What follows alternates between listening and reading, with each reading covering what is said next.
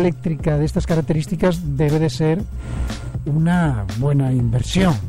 Ahora se debe de hacer con el fondo de pensiones. No hay otro tipo de inversiones, de inversionistas, de, de fórmula financiera, sin que se tenga que tocar nuestro dinero. Buenas. Buenas, dígame. Eh, habla para uno de los guarícanos. Sí, que se invierta de otro, de otro sistema, porque eso va a generar lo que es un escándalo. Y además de eso, la gente siente, eh, sie- siempre tiene temor y que mejor que acuda a otro mecanismo. Le habla el licenciado Rafael Hurtado Ruiz. A ustedes están sustrayendo algo que no es, que es ajeno, que es suyo. Y usted tiene entonces derecho a la legítima defensa. Esto no tiene nombre.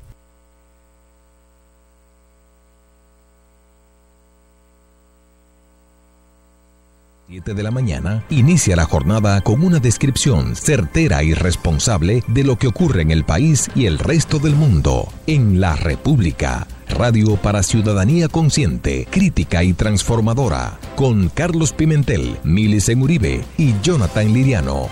La República, de lunes a viernes a las 6 de la mañana por la nota 95.7.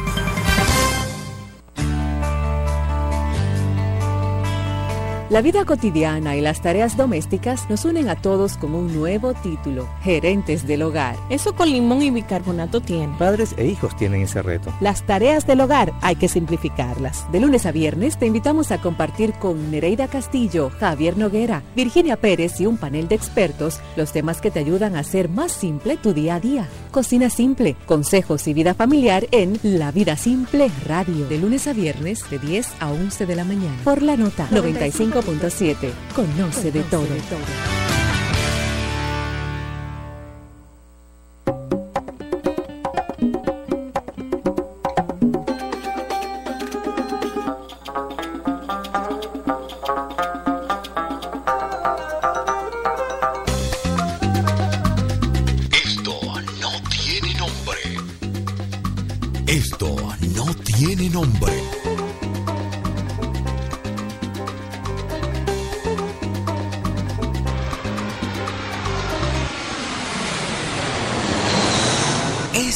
No tiene nombre. En cualquier punto del planeta Tierra y más allá. Freites y su gente, una radiorrevista con análisis y comentarios del acontecer político y económico, además de la asesoría en finanzas y mercadeo, con la participación de periodistas, políticos, economistas y mercadólogos. Freites y su gente, de lunes a viernes a las 12 del mediodía por la nota 95.7. Conoce de todo. Sigamos disfrutando de... Esto no tiene nombre. Esto no tiene nombre.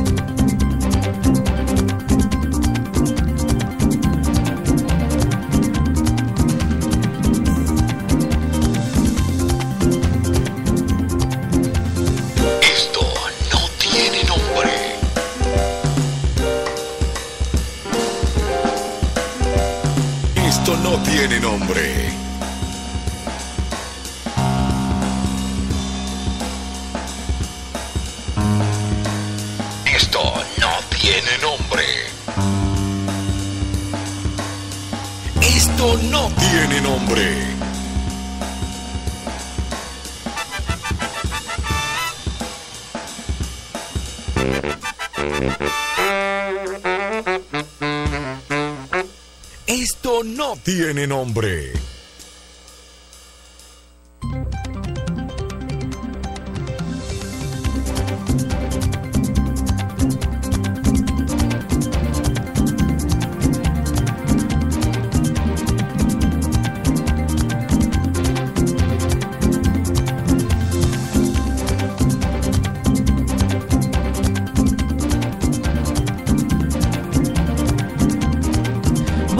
Tardes, bienvenidos a la nota 95.7. Esto no tiene nombre, ya está al aire también a través de la televisión para las personas con diferentes sistemas de cable por Coral Canal 39 y Canal 8. Gracias por la sintonía.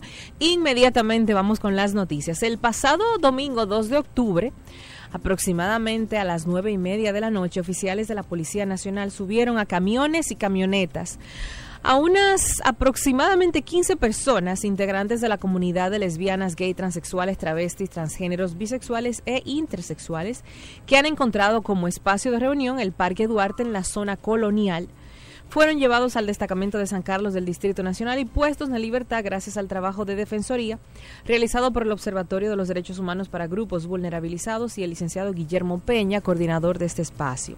Un artículo del periódico Listín Diario denuncia despectivamente que lesbianas y homosexuales ensucian la zona colonial y transgreden lo socialmente aceptado. Para hablar del tema, nos acompaña el alto dirigente de la comunidad LGTBI en el país, Davis Ventura, de la red de voluntarios de Amigos Siempre Amigos. Bienvenido, Davis. Esto no tiene nombre. Buenas tardes a toda la gente que está ahora mismo faja, trabajando y escuchando este programa tan sonado, ¿no? De la República Dominicana. Bueno, eh, decirle a toda la población que quien les habla es una persona que tiene vida en la ciudad colonial. Lo primero vamos a partir de ahí, porque yo, y lo dije el jueves aquí, a veces el problema lo agarramos por las ramas. Y agarramos no porque los homosexuales y el apresamiento. Y uno tiene que ver este problema de la ciudad colonial como algo más allá. Eh, y tanto así te voy a decir, para que sepa la gente, la casa de Mella, que iba a ser convertida en un bar hace muchísimos años, el primero que hizo la denuncia que eso está en la calle Sánchez, casi con Conde, de esa situación fui yo. Y el que pintó esa casa, que la llené de bandera, me levanté a las 6 de la mañana un día con pintura en mano, azul, y la pinté de bandera entera, que duró como dos años pintar así, fue el servidor que está aquí, para evitar lo que yo entendía, un daño a la historia y un daño a la figura. O sea, para que sepa. Segundo, cuando el PLD tomó el Palacio Consistorial y lo llenó de bandera, el primero que se paró frente a esa acción a un monumento colonial fue este que está aquí y recibí la ayuda en ese momento de Consuelo de Prader que estaba en su función de regidora.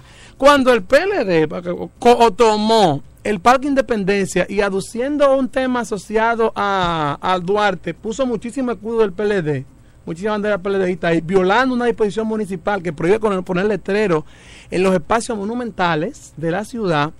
Eh, yo acudí otra vez nuevamente y logramos otra vez con los regidores desmontar ese proceso. Yo soy el cantor oficial de la procesión de, nuestro Padre Jesús Nazareno, pues yo soy un nacido católico. O sea, y durante ocho, años dirigí el coro de la Iglesia del Carmen ahí. Oigo misa, escucho, participo de misa en el convento dominico todos los domingos. O sea, yo soy un nacido de ciudad colonial. Por tal razón, yo puedo hablar de la ciudad colonial y puedo hablar de lo que pasa ahí con autoridad porque soy un ciudadano que hace su vida cultural y su vida cotidiana en ese espacio. Entonces, ¿Qué es lo que pasa? Oh, señores, como toda la ciudad y todos los espacios públicos, la gente tiene... ¿Para qué son los parques? Para que la gente vaya y se siente. O sea, los parques no son adornos. Las ciudades no son museos. Espacios de recreación. Y la ciudad, una zona, la ciudad, por más historia que sea, no puede ser un museo. Es un espacio donde corre la vida, porque eso es lo que le da sentido a la ciudad. O sea, el hecho de la vida de la gente que convive y vive ahí con todas sus características. Como el trencito ese que atacaron ayer, como dicen cuando pasa por el Parque Duarte. Este es el parque de los bohemios, de los jóvenes bohemios. O sea, ya el parque tiene un atributo dentro de la ciudad colonial. Entonces, en el Parque Duarte se concita mucha gente que no se corresponde con el establishment. Hay muchos grupos alternativos culturales, hay muchos pajonuses, Ahí van personas LGBT, ahí van muchos intelectuales a ese parque, ahí van mucha gente que habla de política, habla de subversión. O sea, el Parque Duarte, y él me lo decía el domingo, el, sábado pasado, una de las personas que estaba ahí, de los que van, de la gente dice, mire, el Parque Duarte es el único de los pocos espacios de la ciudad en que tú puedes convivir con una diversidad sin que se llame rebú. O sea, tú nunca has oído que un patio de, de botella en ese parque de que mataron dos. Y ahí hay de todo, señores, ahí va de todo. Todo lo que es la sociedad dominicana va ahí y se encuentra en ese punto de la ciudad colonial. ¿Qué pasa con ese punto? Que mucha gente está interesada, y lo puedo decir porque esa lucha no es de ahora, esta lucha viene desde el 2010 con el Parque Duarte. Mucha gente, sectores religiosos, mira, mira qué pasa Ciudad Colonial, porque miren lo que pasa que en Ciudad Colonial hay mucho, mucho general y poco guardia, mira. En Ciudad Colonial hay dos asociaciones de empresarios. Ciudad Obando, que debían de cambiarle ese nombre porque eso es una cosa terrible, ponerle Ciudad Obando a cualquier, a cualquier espacio sabiendo lo que fue Obando. O sea, ¿verdad? Y están los dueños de bares y restaurantes, son dos. Está el Ministerio de Turismo, está Patrimonio Cultural, que es Patrimonio Monumental, está eh, el Patronato de Ciudad Colonial y están 80 juntas de vecinos. Y es- 80. sí, y está. ¿Cómo sí, Pero por 80? cansa. por- no, por calle, Por por, calle, casa. sí, por casa. Entonces, no, entonces, ¿qué pasa? Que toda esa gente, Oh, espera, 80. 80, lo puedes, Haz- lo puedes ir a preguntar porque no soy yo. Entonces, y la alcaldía. O sea, Pero ¿por la- qué 80? No, no sé. Esas son cosas de Porque la es una sola zona. Bueno, pero esa naturaleza. Debería haber las- la asociación. Pero que pasa que por De junta calle. de- Claro, de junta de Sí, yo, te- no, yo tengo una asociación, pero la asociación la conforman 80 juntas y inclusive tienen muchos problemas. Entonces, ¿por qué? Qué Porque son difícil, tantas. ¿eh? Entonces, ¿qué pasa? Que toda esa gente son generales. Por tal razón, si una gente se le ocurre ahí, toma una decisión, se la comunica a la policía y la policía ejecuta para que ustedes sepan. Por ejemplo, en el 2010, por un asunto del patronato de Ciudad Colonial, a nosotros tuvimos que durar casi tres semanas peleando con el cardenal. El, y lo puedo decir perfectamente, el listín diario hizo una portada falsa, o sea, con una foto falsa, que nosotros se lo decretamos al periódico en ese momento, poniendo dos, dos, dos policías que vistieron de, con peluca y lo pusieron a las 12 del día, para desacreditar que nosotros estábamos tomando ese parque. Y lo tenemos la prueba de que el listín lo hizo. Porque nosotros le, le demostramos al listín que era falsa la portada. ¿Qué, ¿Por qué lo hizo? Porque el patronato no quería que los homosexuales estuvieran ahí. Entonces, una vez recuerdo yo, óyeme bien, solicitamos un permiso porque hay una iglesia, la iglesia de la comunidad metropolitana, estoy diciendo todo esto para que se sepa la historia. Sí, pues yo el no quiero venir, yo no quiero llevarte un pero yo te déjame terminar. En el Stapleton 2010, está- sí, no me- nos no acompaña en el evento. 2010, eh, hace como dos años, solicitamos un permiso para el Parque Duarte Asistente de Miralba Ruiz. para hacer una misa de una la iglesia de la comunidad metropolitana, que es una iglesia que tolera, acepta y comparte con los homosexuales. Y el, le pedimos la- el permiso a la autoridad competente, que es la alcaldía, ¿verdad? Y la alcaldía nos mandó de la Junta de Vecinos para que tú veas cómo está la ciudad colonial loca. Entonces nos mandaron ahí, nosotros tuvimos que ir a rogarle a la Junta de Vecinos que nos dieran ese favor y ellos pensándolo porque nosotros no podíamos ese parque, que sé que sé yo cuánto tiene. O sea, hay un tema con la ciudad colonial y luchas de interés en ciudad colonial entre los que están ahí, ¿eh? entre los que tienen poder ahí y también los ciudadanos que vamos ahí. Entonces, ¿qué pasó ese día? O la policía llega, dos veces ha pasado últimamente, y nosotros ya recordamos la historia, o sea, nosotros no, estoy contando del 2010 porque venimos luchando de eso. ¿Qué pasó? Ellos agarran, llegan al Parque Duarte en dos oportunidades pasadas cercanas. Y se llevan a las personas que cumplen con el perfil de homosexuales, porque no todos son homosexuales, pero que cumplen, o sea, un muchacho que tiene una pela rara, que se pone un aretico, un muchacho, se llevan a eso, pero dejan al, no pero dejan al, espérate, pero dejan al blanquito. ¿Por qué? Al blanquito que está vestido con un polo cheque, tú sabes que aparente hijo de una familia riquita, lo dejan ahí tentado. Y se llevan también a los negritos. Inclusive se llevaron a un hijo, a un hijo de un comunicador en el lío, se llevaron a un hijo de un comunicador de la Z, en el rebú, se lo llevaron. Entonces, ha pasado dos veces últimamente. Hubo un lío también. En esto sacan los limpiabotas. O sea, los limpiabotas, yo estoy, estoy en desacuerdo con los limpiabotas. Los limpiabotas es un pecado de esta sociedad. Pero tú no puedes sacarlo de ciudad colonial y dejarlo en otra ciudad. O tú resuelves el problema o tenemos que convivir con los limpiabotas. Y, por ejemplo, hay una escuela de música popular. Señores, yo me veo en televisión. ¿Cuántas musarañas yo hago, eh? Eh, yo me estoy viendo aquí voy a tener que controlar eso porque esto no puede ser. entonces, Esa es tu Pero forma de mira, entonces, pero No, no, espérate, yo creo- sacaron yo- un muchacho, espérate, para que, para que después no se diga que no estaban cosas. Hay una escuela que la fundaron unos muchachos que son músicos profesionales. Ellos fundaron una escuela de guitarra para niños de la calle. Señores, lo último que le dijeron, no está muy buena tu idea, pero ponla fuera de Ciudad Colonial. O sea, vamos a analizar lo que está pasando ahí, David Collado. Yo quis, o sea, y, no- y yo no yo no culpo a David Collado, no, pero le toca. Le toca asumir porque él es el alcalde. Pero lo que yo quiero, yo quiero eh, eh, la, la zona y la comunidad LTV, es, por ejemplo, es el lugar donde anualmente se celebra. Sí, el- porque eso el- tiene un centro antropológico pero, interesante. eh, y, y- y ese parque, eh, uno, lo que mi pregunta va, va hacia dirigida hacia la siguiente: ¿es sistemática o lo que lo que ocurrió con el apresamiento de los jóvenes fue algo que ocurrió por primera vez No. o es una o, ustedes se lo atribuyen a una conducta sistémica? Mira, pasa, ¿Qué es lo que yo creo que, que, pasa, que cada, pasa cada cierto tiempo. Es cíclica. Cuando hay procesos de remozamiento, procesos de renovación de ciudad colonial, cuando hay proyectos que se inician en esa etapa, pasa. O sea, porque en ese proyecto O se re- cuando ponen un jefe, un o cuando ponen un encargado de... ¿Qué pasa? Que, mira, mira qué interesante eso dice de Politur. Tú sabes que el apresamiento no lo cometió nadie. ¿Cómo nadie? O porque Politur dice que no fueron ellos. Los, San- la gente de San Carlos dice que a ellos le llevaron esos presos ahí para que ellos lo depositaran, pero que ellos no saben quién lo mandó. Y la tarazana también se limpia. O sea, parece que los policías que habían ahí bajaban del cielo. por- y lo que, lo que evidencia es Pero los de Politur no que tienen ninguna Que identificación. había una Se orden. visten diferente. Sí, que había una un orden. Pero, que ellos- no la asumen, pero no la asumen directamente. Entonces, que había una orden, y eso es lo que pasa. A alguien de, de- de todos esos jerarcas que hay ahí, o sea, jerarca es tú el que puede mandar en Ciudad Colonial, porque que manda mucha gente. Tú el que puede mandar en Ciudad Colonial en algo, llega y se le ocurre, hay que sacar a los gays, o hay que sacar a los limpiabotas. Entonces, ellos, los poli, o sea, los politur son parte de un sistema. Ellos le dicen a, a, los politur o le dicen a los policías, porque hay como cuatro policías también, porque está la policía normal y está la politur. Digo, policía normal, está la policía que no es politur, eh, la policía nacional. Entonces, ellos llegan, le dicen, y entonces alguien asume y se, da eso. Lo que yo quiero caer en la cuenta es, primero, el desorden institucional que tenemos ahí, en ese espacio, que se ha intentado corregir, pero que para corregirlo tiene que asumir alguien directamente, el que, el que la ley manda, que es el alcalde. Y porque es que no es turismo, turismo no es que manda, turismo que decide. ¿Ustedes se acuerdan el lío de de, de, de, de la plaza de, ¿cómo es? De, de, de las ruinas de San Francisco? Hubo un lío, tuvo la alcaldía que sometió una resolución porque turismo quería a Trocha y a Mocha hacer esa obra. Inclusive, eso no se acababa ese lío, eso va a volver.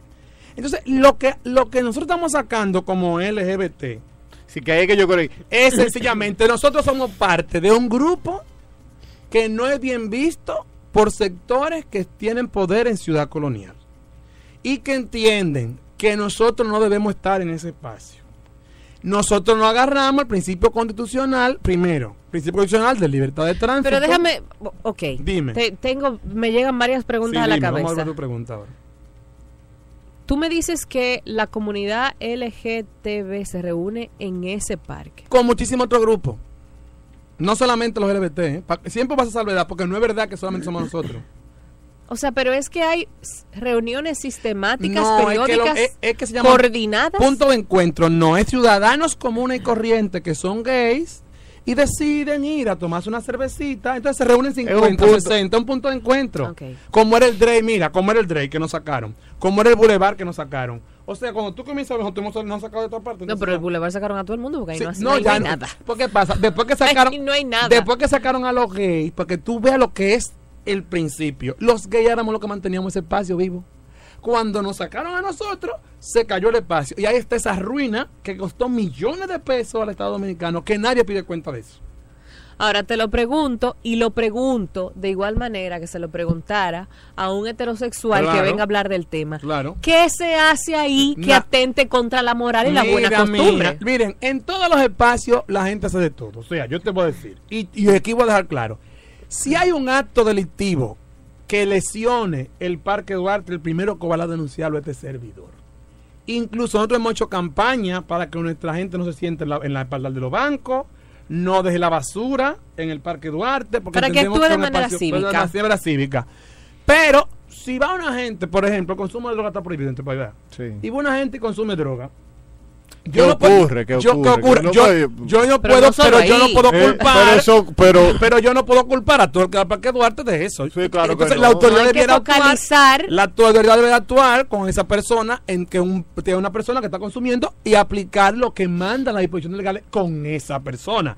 Que es lo inteligente. Porque es que tú, señores, de las redadas se me llevaron 15 muchachos, habían otros más de, de cosas. Entonces tuvieron que soltar a las 50 personas que tuvieron que soltar a las 2 de la mañana porque no hay cargo. Entonces gastamos los recursos del Estado que debiéramos estar gastando en combatir la delincuencia de manera real. Lo gastan nuestras autoridades en cosas que no dan resultados porque la redada, aparte de que es inconstitucional, es ilegal. O sea, por tanto, también no, no, no, no tiene ningún sistema de inteligencia detrás. Porque eso tú recoges 200 y te sacas un solo, tal vez que no está haciendo nada tampoco. Pero una cosa, Por sospecha. que una, una cosa, se ha planteado con la alcaldía, la politura, hacer una reunión con el colectivo mira, ay, pero y que que, te- se pueda que y que se pueda tocar el tema. Mira que lo que pasa. Con David Collado, nosotros ahora nos estamos acogiendo a. Primero, yo te voy a decir, y esto lo puedo decir con toda tranquilidad.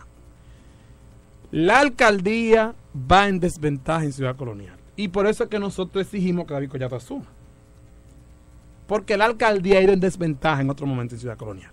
Para que se sepa. O sea, por muchas razones. Eso ahí hay demasiado interés eh, eh, eh, de otro organismo y a la alcaldía le ponen al menos. Inclusive hubo un préstamo que para desembolsarlo duró cinco años en Ciudad Colonial. Porque no había cómo, porque no se ponían de acuerdo los actores. Para que, o sea, el, porque es que yo quiero desnudar el problema real, o sea, el problema más allá de esto que vemos. Entonces, ¿qué pasa? Ahora que los afectados somos nosotros, todo este lío, el ciudadano común es el afectado. Es así. O sea, porque como la autoridad que tiene que hacer cumplir las leyes no puede, porque está todo el mundo en una cosa, entonces se hace un, un desastre. Entonces, hay demasiado interés privado. O sea, yo siento que hay demasiado interés privado ahí. Eh, ¿Qué pasa? Que nosotros, no, no, mira, nosotros nos reunimos una vez, tuvo que intervenir el fiscal, un fiscal ex- extraordinario, una intervención de un fiscal, no me acuerdo el nombre, que hizo una intervención divina en ese espacio. O sea, y plantó es que esto es bajo el imperio de la ley y que aquí hay que respetar que la gente tiene derecho al uso del espacio público. La gente de Politura ha sido, ha sido sensibilizada en cuanto al tema LGBT, respeto de la diversidad, derechos humanos, inclusive por el Observatorio de Derechos Humanos. eh, hay un trabajo ahí. Nosotros nos podemos sentar. ¿Cuál es el problema de sentarse aquí en la mesa? Que tú te puedes sentar con los actores en la mesa. Y por eso es que nosotros vamos a- al esquema de demostrar nuestro poder, o sea, el poder que tenemos, que es convocar a la gente que vaya al parque. Porque si tú te vas y te sientas, todo muy bien hasta que te sientas. No te pares la mesa, todo sigue igual. Porque no, no todos los sectores no están de acuerdo. No to- to- hay lo que llaman aquí hay mucho currículum oculto. Aquí la gente dice que sí del gobierno y después te dice que no. O sea, señores, eso es a la franca, porque me ha pasado a mí a cada rato. Entonces, sí está bien, o, o la condición es que tienen que portarse bien. Pero, ¿qué es portarse bien? Portarse bien es que la gente deje de ser ella. Entonces, yo no puedo prohibir, yo no puedo prohibir yo mismo ser amanerado porque yo soy amanerado. Ni puedo prohibir a nadie que no se, o que no se ponga una camisa rosada. No, no, porque estamos hablando eh, si, si se Pero puede- que a veces llegan ahí, No, no, no. llegan a esos niveles. Entonces, mire, nosotros podemos sentarnos, pero yo quiero aprovechar este espacio y primero para decirle a la gente, nosotros no estamos en contra de David Collado. Porque David Collado, es yo voté por David Collado, o sea, y por mi alcalde, pero le estamos exigiendo al alcalde que asuma su rol dentro de Ciudad Colonial. Su rol público y no un rol privado.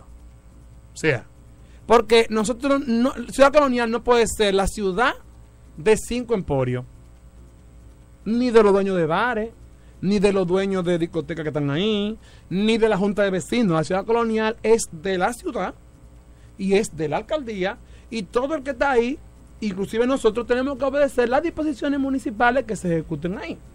Pero esas disposiciones municipales tienen que estar acorde con los derechos humanos. O sea, tú no puedes violentar a nadie el derecho a libre tránsito. Ahí a ese espacio, por ejemplo, si una doña decide ir en rolo a Ciudad Colonial, que vaya en rolo. Si los niños pobres van a Ciudad Colonial, que vayan a Ciudad Colonial, porque la Ciudad Colonial es un espacio de la ciudad de cualquier otro. ¿Qué es lo que pasa? Te voy a explicar qué es lo que... Mira, por en el Parque Duarte, ¿sabes que en Ciudad Colonial están vendiendo el fenómeno de la gentrification, la gentrificación? ¿Saben que yo sé un poquito de esto? Por mis estudios sociales. Eh, se está dando en Ciudad Colonial. La gentrificación es cuando un sector acá, un grupo determinado se interesa en una zona de la ciudad que reúne ciertas características culturales interesantes. Por ejemplo, Harlem era la zona de los pobres, pero la zona de los artistas. Entonces los ricos de Nueva York comenzaron a mudarse para Harlem, comenzando por Bill Clinton que puso su oficina ahí. Sí. Entonces da un fenómeno de que esa gentrificación es buena en la medida en que trae inversiones, pero es mala porque comienza a sacar a la gente que hace la cultura real. O sea, la- ¿qué pasa? En Ciudad Colonial, tú no, si tú no pagas 35 mil pesos ahora, tú no vives en una casa. Si tú no pagas 40 mil pesos, tú no vives en una casa. Tú no puedes alquilar. ¿Por qué? Porque se ha elevado el costo en la medida Claro. que comienzan las inversiones. Así es. Entonces, eso tú tienes que tener mecanismos para proteger eso, porque entonces la ciudad pierde su sentido de vida. Pierde a la doñita que vende la arepa, pierde al señor que vocea, pierde a la doña que anda en la calle, con, que es lo que el turista viene a buscar, eso me da cuenta. Tú no puedes perder eso. Pero en una Entonces- cosa sí tenemos que estar de acuerdo. Nuestra zona colonial, teniendo un valor histórico y cultural incalculable en América Latina y el mundo, Ah, no, no, ha no. sido una de las zonas Una- una coloniales más arrabalizadas. Una cenicienta. Entonces Ah, ya era ah, hora. No, y ahí tenemos que felicitar las acciones. No, no, tenemos que felicitar las acciones que están haciendo. Nosotros estamos de acuerdo. Y recuerden que esas acciones están con fondos públicos. O sea, la remodelación que está haciendo, ha sido con un préstamo del BIP. No es inversión privada, en la remodelación pública. O sea, que lo que está haciendo lo va a pagar Miralba y lo va a pagar yo. Por razón, yo tengo derecho a disfrutarlo. Y a mí no me puede prohibir que vaya como gay, ni como ni como negro, ni como pajonú, No. ni como... Porque se está haciendo con los recursos del Estado. Entonces nosotros lo que decimos es, ¿qué es lo que pasa en el Parque Duarte? Mira, que ahí están vendiendo, en la zona del Parque Duarte vendieron una casa en 10, 60 millones de pesos. Y están vendiendo todas las casas que están ahí. Ahí había un plan hace unos años porque es que yo me sé la historia completa, para dar la igual que pasó en la Plaza Villini, que dieron la mitad de la plaza para que un restaurante cogiera ese pedazo a través de una disposición municipal que violenta el espacio público, porque usted no puede el espacio público. O sea, el restaurante tiene que estar dentro y fuera los ciudadanos. O sea, y quiere- hace unos años tuve esa intención en Ciudad Colonial, en el Parque Duarte, de dar la mitad del parque a un, a un restaurante para que pusiera la banqueta y entonces tú sabes que tú no te vas a sentar. Porque ya tú, perdonen la expresión, tú ves como un lambón de un restaurante. Lo que pasó con la Plaza España, que la gente no se sienta ya en, la- en la escalerita de la Tarazana, porque ya han rodado tanto los restaurantes que ya de momento vamos casi en Plaza España. ¿Tú has visto cómo han ido rodando? Estaban adentro, después cogieron la calle, la Tarazana, después cogieron la escalera y ya van por la cocina de la de la de la de la de la de la de la, de la- del alcázar, que esa- esa calle se ve la cocina antes. Va a llegar un momento que no va a haber Plaza España porque va a estar lleno de restaurantes. Entonces, el ciudadano común que no puede pagar esos restaurantes que son caros se queda sin espacio público. Y por eso nosotros defendemos el espacio público. A mí me han llamado gente consternada porque yo estoy planteando este tema. Porque, porque entendemos que lo correcto es que se está poniendo bonita, sí, pero entiéndase. Que se está poniendo bonita con un préstamo que estamos pagando nosotros. Y que hay una inversión Y privada, todavía, sí. si le digo Hay una una inversión privada, sí, es verdad, pero está invirtiendo en su casa, en su negocio. O sea, yo no tengo la culpa de que invierta en su hay negocio. que dejar claro, mira, Alba, que esta, ese préstamo de 20 millones de dólares del BID no da ni para la mitad de lo que se No, de lo que hay estoy que de hacer. lo que hay que hacer. Eso fue, eso fue la inversión inicial. Inicial. Pero tú sabes, hoy cuando Todavía, todavía hay zonas, oye, todavía hay zonas que necesitan eh, mayor existe la- inversiones. existe la intención de ampliar el préstamo, de hacer un- una, una segunda parte del préstamo eh, de un monto mayor y que con eso pueda ya completar otra parte de la inversión. Pero, por ejemplo, el tema del tendido eléctrico sigue siendo, sigue siendo un problema. o sea, ahí no se puede eh, filmar una película No, eh, colonial porque van a salir tosiendo por ejemplo, y que sepa, nosotros no estamos en desacuerdo con que se hagan las inversiones necesarias, con que se reivindique el préstamo, porque entendemos que ese patrimonio de la humanidad porque es un Necesita patrimonio cuidado. necesita cuidado además porque es una fuente de ingresos. Vamos con lo claro. Pero no es una fuente de ingresos, yo siempre le digo eso. La zona colonial en ningún espacio turístico de República Dominicana es una fuente de ingresos porque tenga playa ni porque tenga monumentos. Porque monumentos coloniales en toda América. Está bien, aquí están los primeros, todo lo que tú quieras. Pero hay ciudades que han, teniendo menos han sabido explotarlo más. Porque es un asunto. ¿qué, ¿Cuál es la riqueza de nuestro turismo? Su, la gente. El dominicano y la dominicana. Esa es la riqueza. Entonces yo entiendo que en Ciudad Colonial tiene que darse el proceso. O sea, y ver que la ciudad colonial se puede convertir en un proceso modélico donde la gente, donde no se discrimina a la gente, donde la gente pueda ser ella misma, donde la gente pueda ser lo que es y punto. Usted católico, evangélico, aguilucho, eh, cogidita, PLDista, PRDista, gay, heterosexual, y usted conviva ahí en base a los cánones del respeto. Entonces ningún grupo de interés puede imponer ahí su norma. Y eso es lo que pasa con el Parque Duarte y con ciertas acciones culturales que se pretenden de ahí, que hay tantos grupitos de interés que a algunos se le ocurre, no, no queremos esto. Entonces va y ejecuta porque tiene poder. O sea, va y le dice a la policía, yo no quiero eso. Y la policía tiene que ejecutar porque está hay, un, hay poderes. Entonces, nosotros lo que decimos por eso es que ahí falta hacer la gestión cultural real que armonice esos actores, pero también que se entienda que la alcaldía, que la alcaldía es la jefa. O sea, esa es mi posición. Porque Yo pienso que ustedes deben de reunir todos los actores eh, no para es que nosotros, tocar nosotros estamos pidiendo a través de los regidores, cuatro regidores, estamos pidiendo al alcalde reunirnos con él. Porque el lo que pasa es que yo quiero que se entienda que si el problema se tapa por nosotros y nosotros lo colocamos, por el problema no es de nosotros. Ese lío no es de nosotros. Ese lío es de esta ciudad.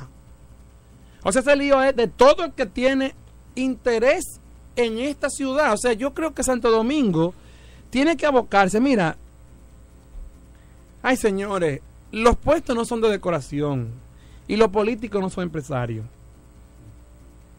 Yo soy político, los políticos no somos empresarios, los políticos somos políticos. Y hay mensajes claros que tiene que mandar la alcaldía sobre esta ciudad. Que David Collado está en un proceso de, ¿cómo es? Que- ¿cómo es? ¿De está- adecuación? de adecuación. Sus- no, sus no, no, pero política, pero en política hay que dar adelante. En política hay cosas que no tienen que esperar. O sea, y porque tú estás asumiendo la visión de empresario, de que yo tengo que llegar y organizar la casa. No, no. En política se hacen las dos cosas, se organiza y se actúa políticamente. Eso yo creo que es correcto. Entonces, yo creo que mm, y vuelvo, y esto yo inclusive se lo, vamos- se lo mandé a decir con Faride, esto no es una actitud contra nuestro alcalde. Le estamos haciendo un favor, porque le estamos pidiendo como, como cosa, y si él lo asume, nosotros lo apoyamos. Pero, no los LGBT, no los LGBT, le voy a decir, muchísimos grupos alternativos que nosotros tenemos alianza.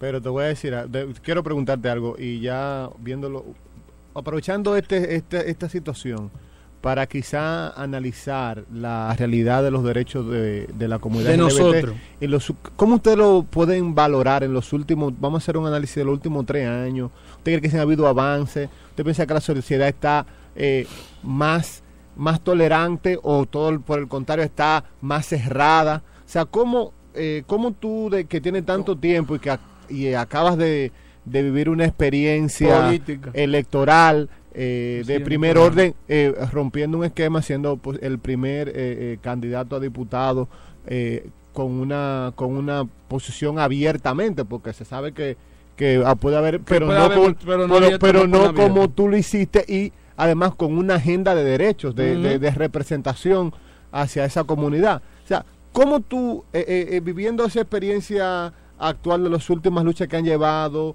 eh, eh, el mismo, la misma participación política, ¿cómo tú ves todo esto? O sea, ¿cómo tú, cuál es- cómo Mira, tú ves, ¿y cómo tú ves el futuro de la, eh, eh, de la comunidad? Quiero Mira, me- yo creo que lo primero es que nosotros hoy más que nunca somos más visibles que nunca. Somos un, un colectivo que ha logrado crecer en manera organizativa. Tenemos muchísimas mayores organizaciones. Tenemos más gente de clase media y clase alta eh, involucrándose en los procesos. y hemos ganado muchísimos aliados en los últimos años. O sea, en los medios de comunicación, en, las instituciones del Estado. Hay muchas más personas que se comprometen o que asumen posturas a favor del respeto de los derechos humanos que nos corresponden a nosotros. Y la sociedad dominicana va cambiando. Donde no hay más sociedad de hace, por ejemplo, hace 10 años imposible venir un programa de radio a hablar de estos temas. O sea, era, eso era un hecatombe cuando se hablaba de esto. Eh, y hoy por hoy se habla. Lo que sí yo te voy a decir, la sociedad dominicana eh, es una sociedad que se, ha que se va radicalizando. Eso sí es peligroso. Es una sociedad que se va radicalizando. eh, y hoy vemos como eh, muchos grupos sin poder numérico, pero con mucho poder fáctico y poder de medios, eh, se posicionan en contra de los derechos humanos, inclusive los derechos humanos de nosotros. Eh, y no es un fenómeno de República Dominicana, es un fenómeno de Latinoamérica. Grupos asociados a lo que llamamos las derechas, pero y los grupos radicales van asumiendo posturas. Por ejemplo, tú sabes que el no en Colombia perdió porque la iglesia evangélica no le dieron el apoyo al sí. Porque los gays estaban del otro lado. Entonces no se podían sentar. O sea, porque donde hay gays no se pueden sentar en la iglesia evangélica. Óyeme, son posturas nacionales. En estos días, este señor que fue candidato a alcalde en estos días lo dijo en un Twitter. Que dice que qué pena que las comunidades evangélicas no se puedan sentar, no puedan asumir más allá de los temas de los LGBT. O sea, para que tú entiendas, porque hay, unas hay unas polarizaciones en torno a los temas asociados a la diversidad sexual que a veces son absurdas. Eh, y eso está dando en República Dominicana. Entonces, por ejemplo, y nosotros no hemos logrado que el Estado Dominicano dé la cara, o sea, asuma esto. Por ejemplo, mira, yo tengo una experiencia frustrante, frustrante hasta el extremo. O sea, yo creo que mm, yo tengo que hacer unas vacaciones, porque realmente una vez se agota. Eh, nosotros agotamos un proceso, todos los grupos vulnerabilizados y la gente de derechos humanos en este país, con el canciller pasado, que era para crear el Plan Nacional de Derechos Humanos. ¿Verdad? Eso llegó hasta como febrero del año pasado. Hizo un congreso. ese- no, hicieron una consulta nacional Una que se gastaron millones de pesos y después una gran asamblea y después se hizo, nosotros lo criticamos porque quedó malísimo. Se pagó un consultor internacional que pagó la Unión Europea que vino a revisar todo eso. Todo eso. ¿Dónde está? Gracias, no existe. Porque con el cambio de, de gobierno, oye, el cambio de gobierno, o sea, el mismo gobierno, pero un cambio de gobierno. Y el nuevo canciller, eso quedó engavetado. Entonces tú, tú, después que tú gastaste tus cuartos de un presupuesto nacional y después de todos los esfuerzos, sociedad civil y todo lo demás, ahora tienes que ponerte a pelear a ver si el nuevo canciller le interesa ese tema. Fíjate cómo, oye, entonces tú das dos pasitos para adelante y tres para atrás. Y tres para atrás. Entonces, las, pero, pero, y esto no es en este tema. O sea, yo no quiero que lo veamos aquí. Yo quiero que veamos cualquier política pública en República Dominicana funciona así. Y si es derecho humano, como no es un tema que interesa a los estados, porque los derechos humanos no son casa. O sea, tú no puedes decir cuatro años de, cuatro, eso se olvida, cuatro años después, Tú lo pones, eso se olvida porque no son casas, no son empresas, no son avenidas. Porque nuestro gobierno construye muchas casas, muchas avenidas, digo, casas no, pero construyen avenidas y cosas y monumenticos, porque eso lo pueden sacar. Eso lo hizo Balaguer, ¿verdad? Y por ahí comenzamos y ahora esto lo hizo Danilo. Eh, entonces, nosotros no logramos, todavía no hemos logrado avanzar realmente hacia un Estado pleno de derecho y ahora mismo hay una propuesta para una ley de igualdad y no discriminación que esperemos que tenga buen fruto en el Congreso Nacional. Esa ley garantiza ¿Qué traza? ¿Qué, ¿Cuáles son los, los traza la elementos que va a pauta, traer esa- traza esa la ley? pauta para evitar, por ejemplo, mira, para, para evitar cosas tan simples como que una plaza ponga que en esta plaza está prohibido en personas que caminen raro. Y, y se pone. Sí, señor, te puedo decir la plaza que lo tenía, la quitaron estos días, como es Acrópolis, tenía ese letrero puesto ahí, en dentro de sus reglas, personas caminando. Yo, ¿qué es lo que caminar ¿Qué es raro? Caminar raro? O sea, lo puedo decir porque estaba ahí el letrero. No me lo inventé. Yo tomé una foto. Y que Ágora sacaba a la gente que iba en camisita, en demangado. Pero que a quién sacaba, sacaba a los pobres. Porque en varias ocasiones le cogimos a los ricos. O sea, vestido en camisita, muy, un hombre bonito, alto, con su pelito muy agarrado, que hasta yo me enamoraba. Caramba, ¿quién que se ve ese hombre así? Entonces, a eso no lo sacaban, lo sacaban, iba yo y me sacaban. Entonces, se armó un rebuco en la fiscalía por eso, que tuvo que el mismo fiscal, procurador fiscal, entrar en el tema. Sí, pero es que esto no esto, esto es contraproducente. Entonces, no logramos, nosotros no logramos avanzar en el tema de derechos humanos, porque ahí entra un tema importante. Y esto yo lo decía a la política, porque no logramos la voluntad política. O sea, porque los cambios no son culturales, los cambios son políticos. Los políticos dominicanos a veces aspiran al cambio cultural. Y el cambio cultural tiene un problema, que es que a muy, a muy largo plazo y eh, se puede dañar por cualquier cosa. Un cambio cultural, un cambio, un cambio, por ejemplo, de que vamos a educar a la gente para que eh, asuma la diversidad sexual respecto a derechos humanos. Eso puede coger 50 años. Porque tú tienes, una, tú tienes toda una sociedad que no fue educada en eso. Entonces tú tienes que esperar 50 años, que pasen tres generaciones, cuatro, para cambiar una cosa. Entonces tiene que haber un cambio político, decir un funcionario, esta ley. Entonces a partir de esa ley cambia la cosa. Pero ahí viene la excusa tradicional de este país, señores. El desarrollo de República Dominicana se ha evitado por una cosa, por una frasecita. Que búsquenla, yo, yo estudié historia, búsquenla en la historia de Santana. No estamos preparados para eso. Nosotros no estamos preparados para la independencia. Nosotros no estamos preparados para los derechos humanos. Nosotros no estamos preparados para eh, transitar bien por la ciudad. Nosotros no estamos preparados. La excusa de aquí, cuando se va a hacer algo que es un cambio radical, es no estamos preparados. Nunca vamos a estar preparados porque la gente no se prepara. Tiene que haber voluntad política y nuestro mensaje al presidente de la República, nuestro mensaje a nuestro alcalde, nuestro mensaje a las autoridades policiales es que asuma la voluntad política, primero para respetar la constitución que impide que usted haga redada y segundo, para garantizar que todos los ciudadanos, sin importar su condición económica, sin importar su clase social, sin importar su orientación sexual, puedan disfrutar de la primada de América, ciudad colonial. Gracias, Davis. Davis Ventura, de la red de voluntarios de amigos, siempre amigos, en esto no tiene nombre. Esto no tiene nombre.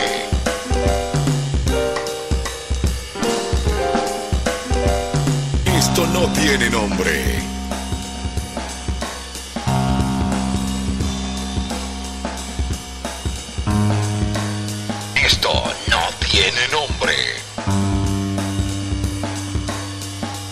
Esto no tiene nombre.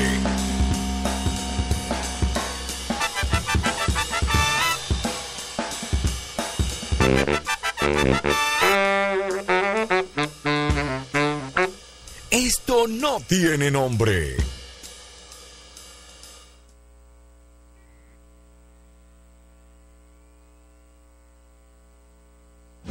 Enseguida volvemos con Esto no tiene nombre.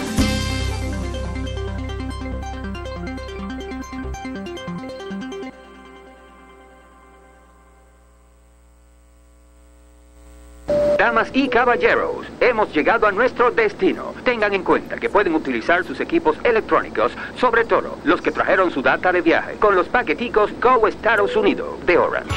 Con tus nuevos paqueticos Go, llévate tu data de viaje a Estados Unidos con tu mismo número y sin contrato. Viaja y activa tus paqueticos de roaming por el tiempo y con los megabytes de internet que quieras. Tu vida cambia con Orange.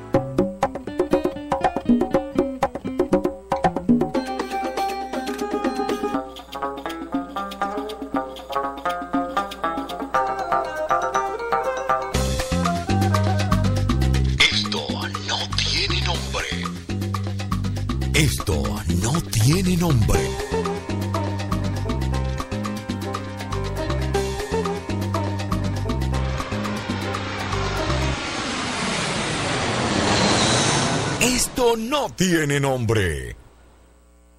Llenos de orgullo y alegría, nuestro trabajo es día a día, lo que entregamos a la isla. Todos los días entregamos conciencia, deporte, cultura, futuro y lo mejor de nosotros al mundo.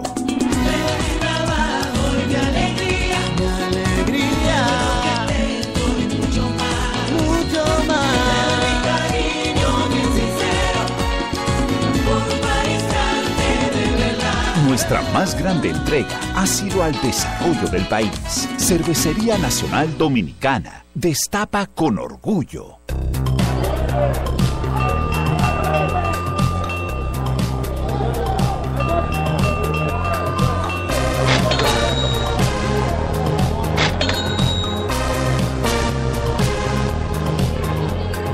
This is Wall Street. Esto no tiene nombre. Este año nadie se salva del patatús. ¿Silla? ¡Lavadora! ¡Michelada! 30%, 2 por 1, 40%. ¡Calzado! ¡Plátano! ¡Espagueti! 15 días de precios tan bajos que te dará el patatús. Hasta el 14 de octubre. Jumbo, lo máximo. Si eres amante del deporte y necesitas un espacio donde tu voz se manifieste, Filiberto Fernández, Natacha Peña y Pedro Ramírez te presentan cada tarde La Barra Brava, el concepto para los amantes del deporte. Fútbol, béisbol, baloncesto y todo lo concerniente al mundo deportivo lo encuentras en La Barra Brava de lunes a viernes a las 4 de la tarde por la nota 95.7. Conoce de todo. Esto no tiene nombre. Este segmento es presentado por Cervecería Nacional Dominicana, con lo mejor de lo nuestro. Dame la buena. Dame la buena. El Ministerio de Medio Ambiente y Recursos Naturales encabezó este fin de semana una jornada ecológica en el Parque Nacional del Morro, afectado por un incendio el mes pasado. La iniciativa fue coordinada por la encargada local de esa institución, Olga Lobetti, y envolvió la participación de un colectivo de organizaciones integradas por decenas de estudiantes, miembros de la Defensa Civil y Ejército de la República Dominicana.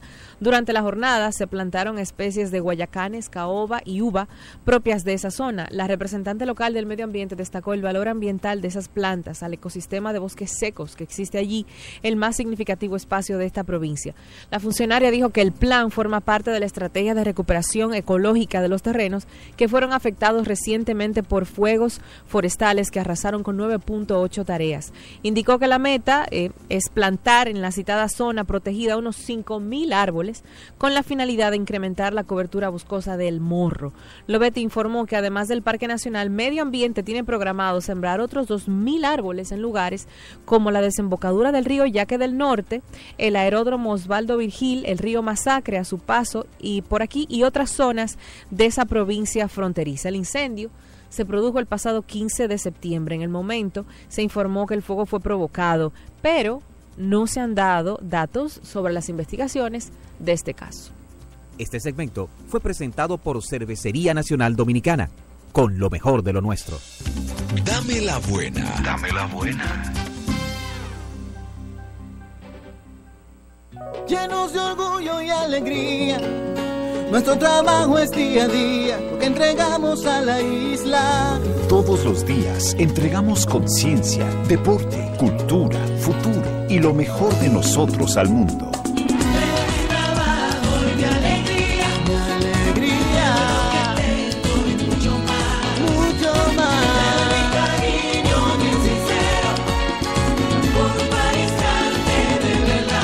Nuestra más grande entrega ha sido al desarrollo del país. Cervecería Nacional Dominicana. Destapa con orgullo. Enseguida volvemos con Esto no tiene nombre.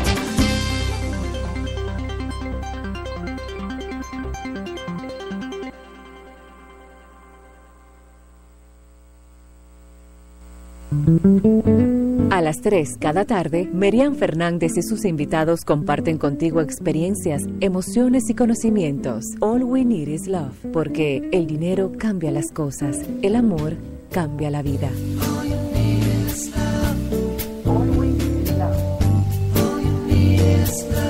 De lunes a viernes de 3 a 4 de la tarde. All we need is love, porque el amor sigue siendo la oferta más irresistible. Por la nota 95.7. Conoce de todo.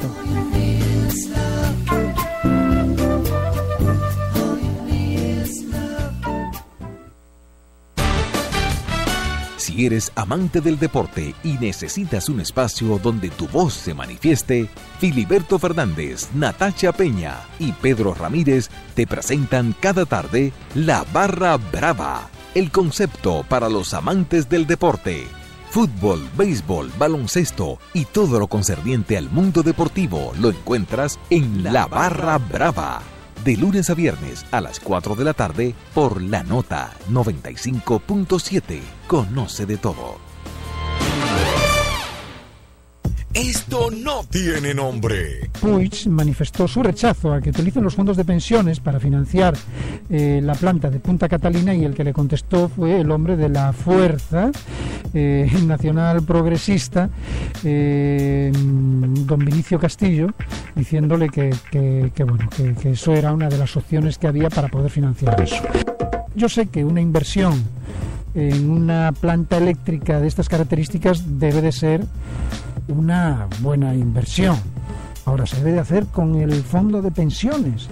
No hay otro tipo de inversiones, de inversionistas, de, de fórmula financiera, sin que se tenga que tocar nuestro dinero. Buena. Buenas, dígame. Me habla para uno de los guarícanos. Sí, que se invierta de otro, de otro sistema, porque eso va a generar lo que es un escándalo. Y además de eso, la gente siente, eh, siempre tiene temor y que mejor que acuda a otro mecanismo. Le habla el licenciado Rafael Hurtado Ruiz. A ustedes están sustrayendo algo que no es, que es ajeno, que es suyo. Y usted tiene entonces derecho a la legítima defensa. Esto no tiene nombre. Pasajeros con destino a Estados Unidos o Puerto Rico, recuerden llevar su data de viaje con su mismo número y sin contratos con los nuevos paqueticos Go Estados Unidos. Activa tus paqueticos en tu mismo plan por el tiempo y con los megabytes de internet que quieras. Viaja y activa tus paqueticos de roaming de data en tu móvil postpago y únicos en tu prepago Orange. Marca número 100 número. Tu vida cambia con Orange. Para conocer lo más actual del mundo del deporte nacional e internacional. Tu cita es con Deportes en la Nota. Durante una hora disfruta de los comentarios, análisis, entrevistas, concursos, noticias e informaciones de primera línea a cargo del prestigioso cronista deportivo e inmortal del deporte nacional, Frank Prats, y la co-conducción de Roberto Mateo, en una dinámica producción de Manuel Mota. No te pierdas Deportes en la Nota, de lunes a viernes a las 8 de la noche por La Nota 95.7. Conoce de todo. Esto no tiene nombre.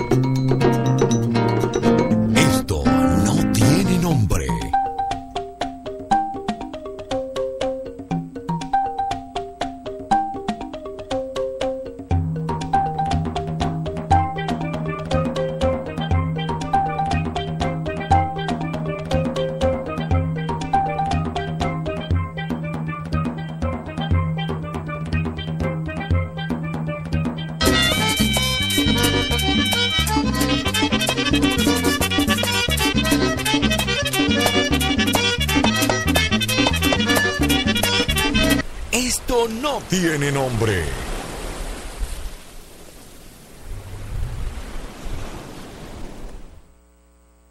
Este año nadie se salva del patatús. ¿Silla? ¡Lavadora! ¡Michelada! 30%, 2 por 1, 40%. ¡Calzado! ¡Plátano! ¡Espagueti! 15 días de precios tan bajos que te dará el patatús. Hasta el 14 de octubre. Jumbo, lo máximo. ¿Sabes qué es mejor que un delicioso, refrescante y rico Fruit preparado con 100% yogurt con tus frutas favoritas? Un delicioso y refrescante Fruit agrandado. Compruébalo tú mismo. Ven a Fruit los martes y jueves y agranda tu Joggen por solo 25 pesos. Fruit, sé bueno contigo.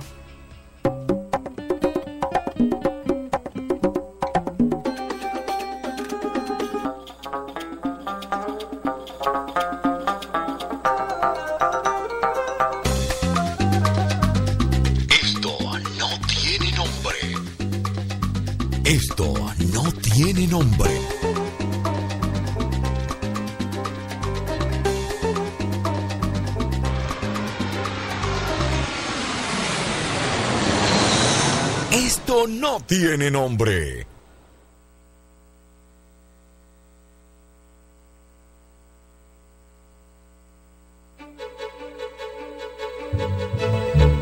Es 5.7 En la nota, Susana Flete y Danira Caminero te informan sin medias tintas ni trasfondos. En Apuntes, periodismo directo y sin censura. Análisis de las principales noticias, entrevistas, espectáculos, cultura y mucho más. Apuntes, cada sábado de 7 a 8 de la mañana por la nota 95.7. Conoce de todo. Sigamos disfrutando de. Esto no tiene nombre. Esto no tiene nombre.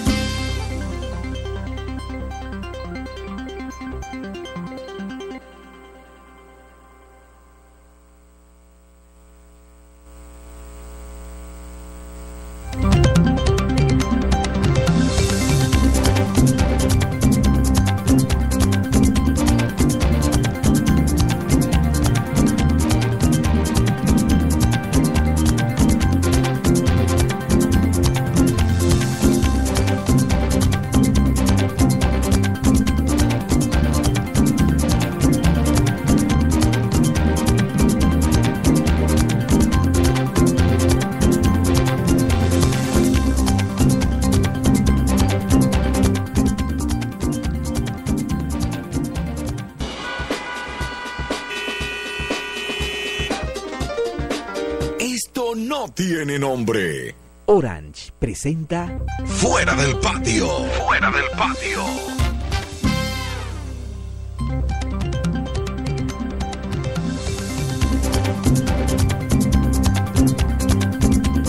Convirtiéndose en el debate más tuiteado de la historia, con una cantidad apabullante de tweets sobre el tema, Hillary Clinton y Donald Trump volvieron a debatir en la noche de anoche, en donde más que planes de gobiernos y proyectos de nación, se escucharon muchos trapitos al sol.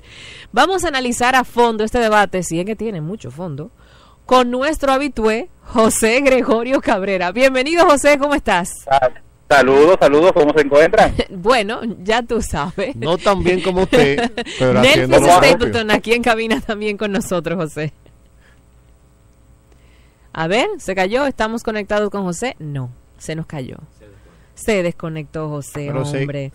Bueno, estábamos comentando que en el día de ayer, más que planes de gobiernos, eh, Se y- dijeron y- cajas y cajones. Por favor, Pero por eso, favor. yo pienso que más bajo ya no. El debate norteamericano más bajo no puede caer.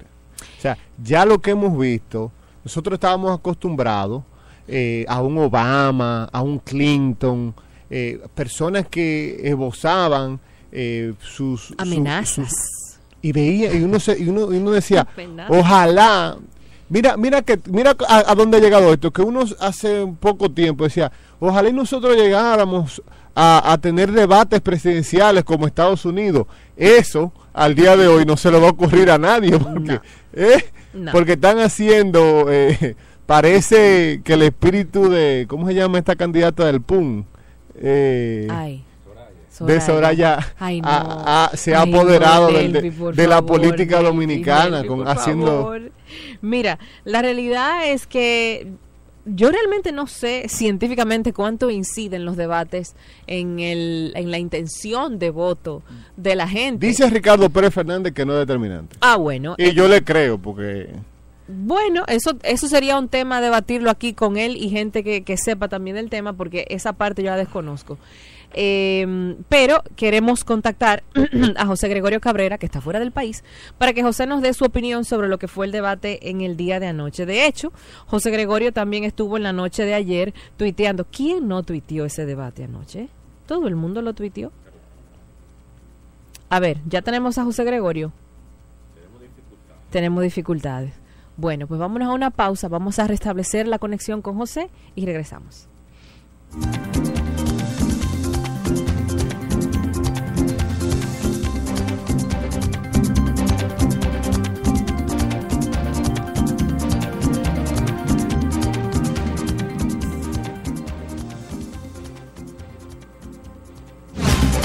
Enseguida volvemos con Esto no tiene nombre.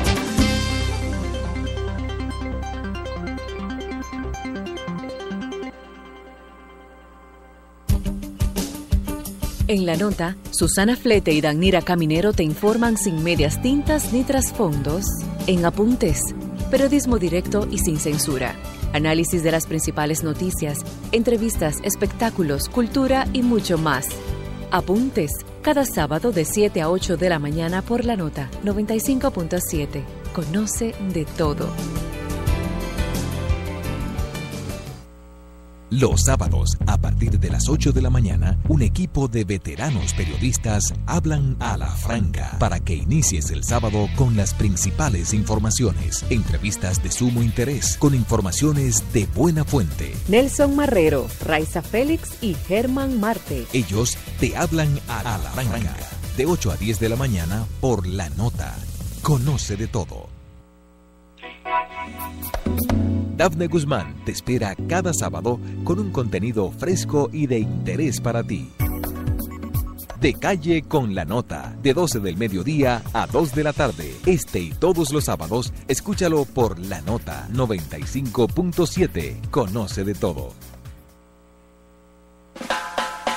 En la nota cada semana se cocina algo bueno. Juan Ortiz y Leandro Díaz te esperan en A Cuatro Tiempos, todo sobre gastronomía. La cita es cada sábado de 4 a 6 de la tarde. A Cuatro Tiempos por la nota 95.7. Conoce de todo.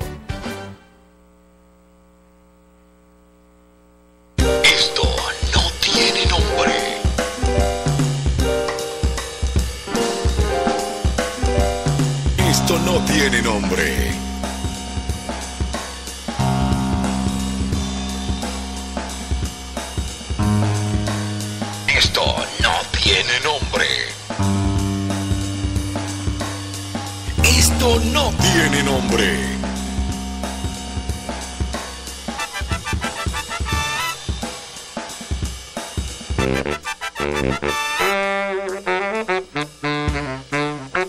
Esto no tiene nombre.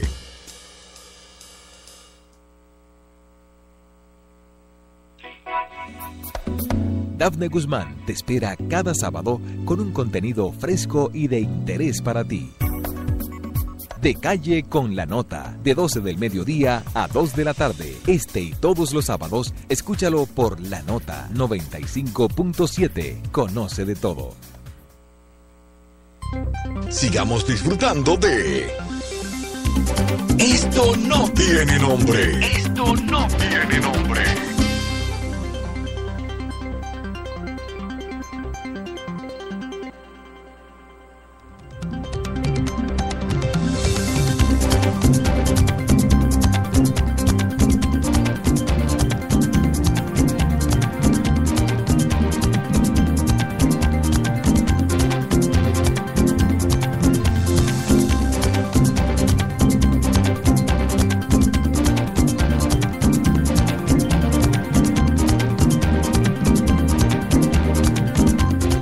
Aquí estamos de vuelta, nos acompaña el señor Pinky Pintor que se incorpora al espacio. Saludos. Muy buenas señor tardes, eh, un saludo a toda la audiencia, encantadísimo de estar una semana más con ustedes y venía, venía escuchando, así que me sumo y voy aportando sobre la marcha. ¿Qué les parece? Muy bien, así es. Tenemos en la vía telefónica a nuestro habitué José Gregorio Cabrera, con quien vamos a hablar acerca del debate de anoche. José, ¿qué fue lo Hola, que ¿cómo vimos están? ayer? ¿Me escuchan bien? Sí, te escuchamos Ah, perfectamente. perfecto. Eh, lo que pasa es que estoy en Miami, tengo la conexión es un poquito pobre, pero bueno, ahí vamos. Lo que viste anoche, ¿qué te pareció? Bueno, es eh, parece ser el round 2 de una pelea entre niños de kindergarten. Eh, en esta ocasión, como, como bien sabemos, el debate se trataba sobre políticas exteriores y evidentemente había temas muy importantes sobre el tapete. Eh, todo lo que tenía que ver sobre todo con la parte de los acuerdos nucleares con Irán, eh, toda la, la cuestión con Siria, Rusia, etcétera, etcétera. Y esperábamos ver eh, temas más, más, eh, con más profundidad. Eh, pero lamentablemente lo que se vio fue una reedición del primer debate, donde durante la primera hora eh, tanto Donald Trump como Hillary Clinton se dedicaron a sacarse trapitos eh, sucios al sol. Evidentemente salió a relucir todo el tema de aquellas conversaciones que le grabaron a Donald Trump haciendo referencias sexuales de manera inadecuada eh, con relación a una- a mujeres con las cuales él había tenido interacción. Y lamentablemente eso ocupó la primera parte el cual se la modalidad de town hall, eh, que básicamente es donde, donde el público puede hacerle preguntas directas eh, a los candidatos. Eh, vimos el, el, el debate organizado por la cadena eh, de noticias CNN eh, y tenía como eh, moderadores Anderson Cooper y vimos cómo lamentablemente en varias ocasiones el debate salía de la mano. Vimos a un Trump beligerante como siempre y en esta ocasión, gracias, por lo menos al final se llegaron a tocar algunos temas importantes, donde ambos candidatos pudieron plantear eh, sus posiciones, pues, todo con, con el relativo al, a la carrera armamentística eh, de algunos países. Pero igual, o sea, no, no está a la altura un debate presidencial de los Estados Unidos, no está a la altura de lo, de lo que hemos, eh, a lo que no, a los que nos han acostumbrados eh, otros otros candidatos eh, en, en épocas anteriores. Vimos, por ejemplo, la otra moderadora de CNN, que era Marta, Marta Radatz, Marta Radatz, que en varias ocasiones tuvo que llamar al orden eh, y pedirle, por ejemplo, Uy, al, uy, al uy, Trump que respondiera a las preguntas que se le estaban haciendo. No, él, le preguntaban cosas específicas y él respondía lo que él quería. De hecho, hubo un Sí, momento claro. en que él mismo le dijo a los conductores, it's three on one, o sea, son tres contra uno. Bueno, pero es que eh, me, me acordó a mi época de colegio, donde le preguntaban a uno por el elefante. Uno decía, no, el elefante es un animal grande de cuatro patas que se le pegan las moscas y duraba media hora hablando de la mosca. Exactamente. Muy buena técnica, ¿eh? Sí, sí, sí, sí. Pero al final del día eh, vimos a un Trump que aparentemente le dieron la pastilla, como decimos en República Dominicana, eh, una especie de pasividad agresiva. eh, quizás fue menos beligerante que en el primer debate, pero igual eh, haciendo ataques y alusiones directas, por ejemplo, al presidente, al expresidente Bill Clinton, el, esposo de, la, de la candidata Hillary, eh, y decía, bueno, yo pido excusa, yo en algún momento eh, quizás hablé de una manera inadecuada con relación eh, a algunas mujeres, pero Bill Clinton las abusaba, eh, Hillary Clinton las abusó porque defendía casos de violación, etcétera, etcétera. Es al final del día seguimos teniendo la sensación de que esta, estas elecciones van a ser, eh, como dice, se dice en inglés, the lesser of two evils. O sea, Ay, el menos mío, malo. El buen menos malo. Pero eso se oye como muy latinoamericanizado. Sí, no, eh, El es menos así, malo. eh, eh, eh, es una novela, Ay, una, novelita de Corín Tellado de mal gusto, lo que, lo que hemos estado eh, viendo a través de los debates. Y la realidad es que, por ejemplo, hace una semana se celebró el debate vicepresidencial Uy, sí. y daría la sensación de que los candidatos a vicepresidente están en mejores condiciones que los propios candidatos presidenciales. Pero no tendrá eso que ver con la actitud eh, mediática eh, de Donald Trump. Yo Porque- pienso que tiene que ver. Porque él es muy show, o sea, él es muy over the top. Sí, yo pienso que tiene que ver con Donald Trump. O sea, ese es Donald Trump. Donald Trump es un- una persona que tiene eh, un superego, o sea, eh, un megalomaníaco eh, que no se deja asesorar por sus asesores. Eh, No, hay, hay varios que- de ellos que han abandonado. Claro, bueno, ha habido una estampida eh, luego de este tema del, del- del escándalo de, las- de las conversaciones de Donald Trump. eh, ha habido una estampida de, de los varios de los líderes del, del Partido Republicano, como por ejemplo cuando Lisa Rice, Cuando Lisa Rice, sí lo vi. Que públicamente renegó de la candidatura y dijo que prefería que la sacaran del partido, pero que ella no iba a apoyar la candidatura de Donald Trump. Hay, una buena parte del liderazgo senior del Partido Republicano eh, que está tratando, diría yo, hasta cierto punto de eh, reco- recobrar su propio liderazgo o de salvaguardar su propio liderazgo eh, a través de no verse vinculado directamente con estas garrafadas, eh, garrafales errores eh, que hace eh, que hace Trump. José, y el hecho de que los debates sean tan al estilo Donald Trump no son un error para Hillary Clinton, porque sería entonces como decir que ella no ha logrado llevarlo a él a su terreno, sino que él es quien ha absorbido el terreno. Lo que pasa, mira, de, y en, de una perspectiva muy personal, pienso que Hillary no ha tenido la suficiente disciplina de mensaje. Es decir, ella no ha tenido la capacidad de comunicar de manera efectiva cuál es el mensaje central de su campaña. Es cierto. lo, lo- lo que nosotros le decimos los top line messages. eh, lo- lo- los talking points de ella son muy débiles. Es verdad. eh, y ha- y Yo misma no recuerdo nada.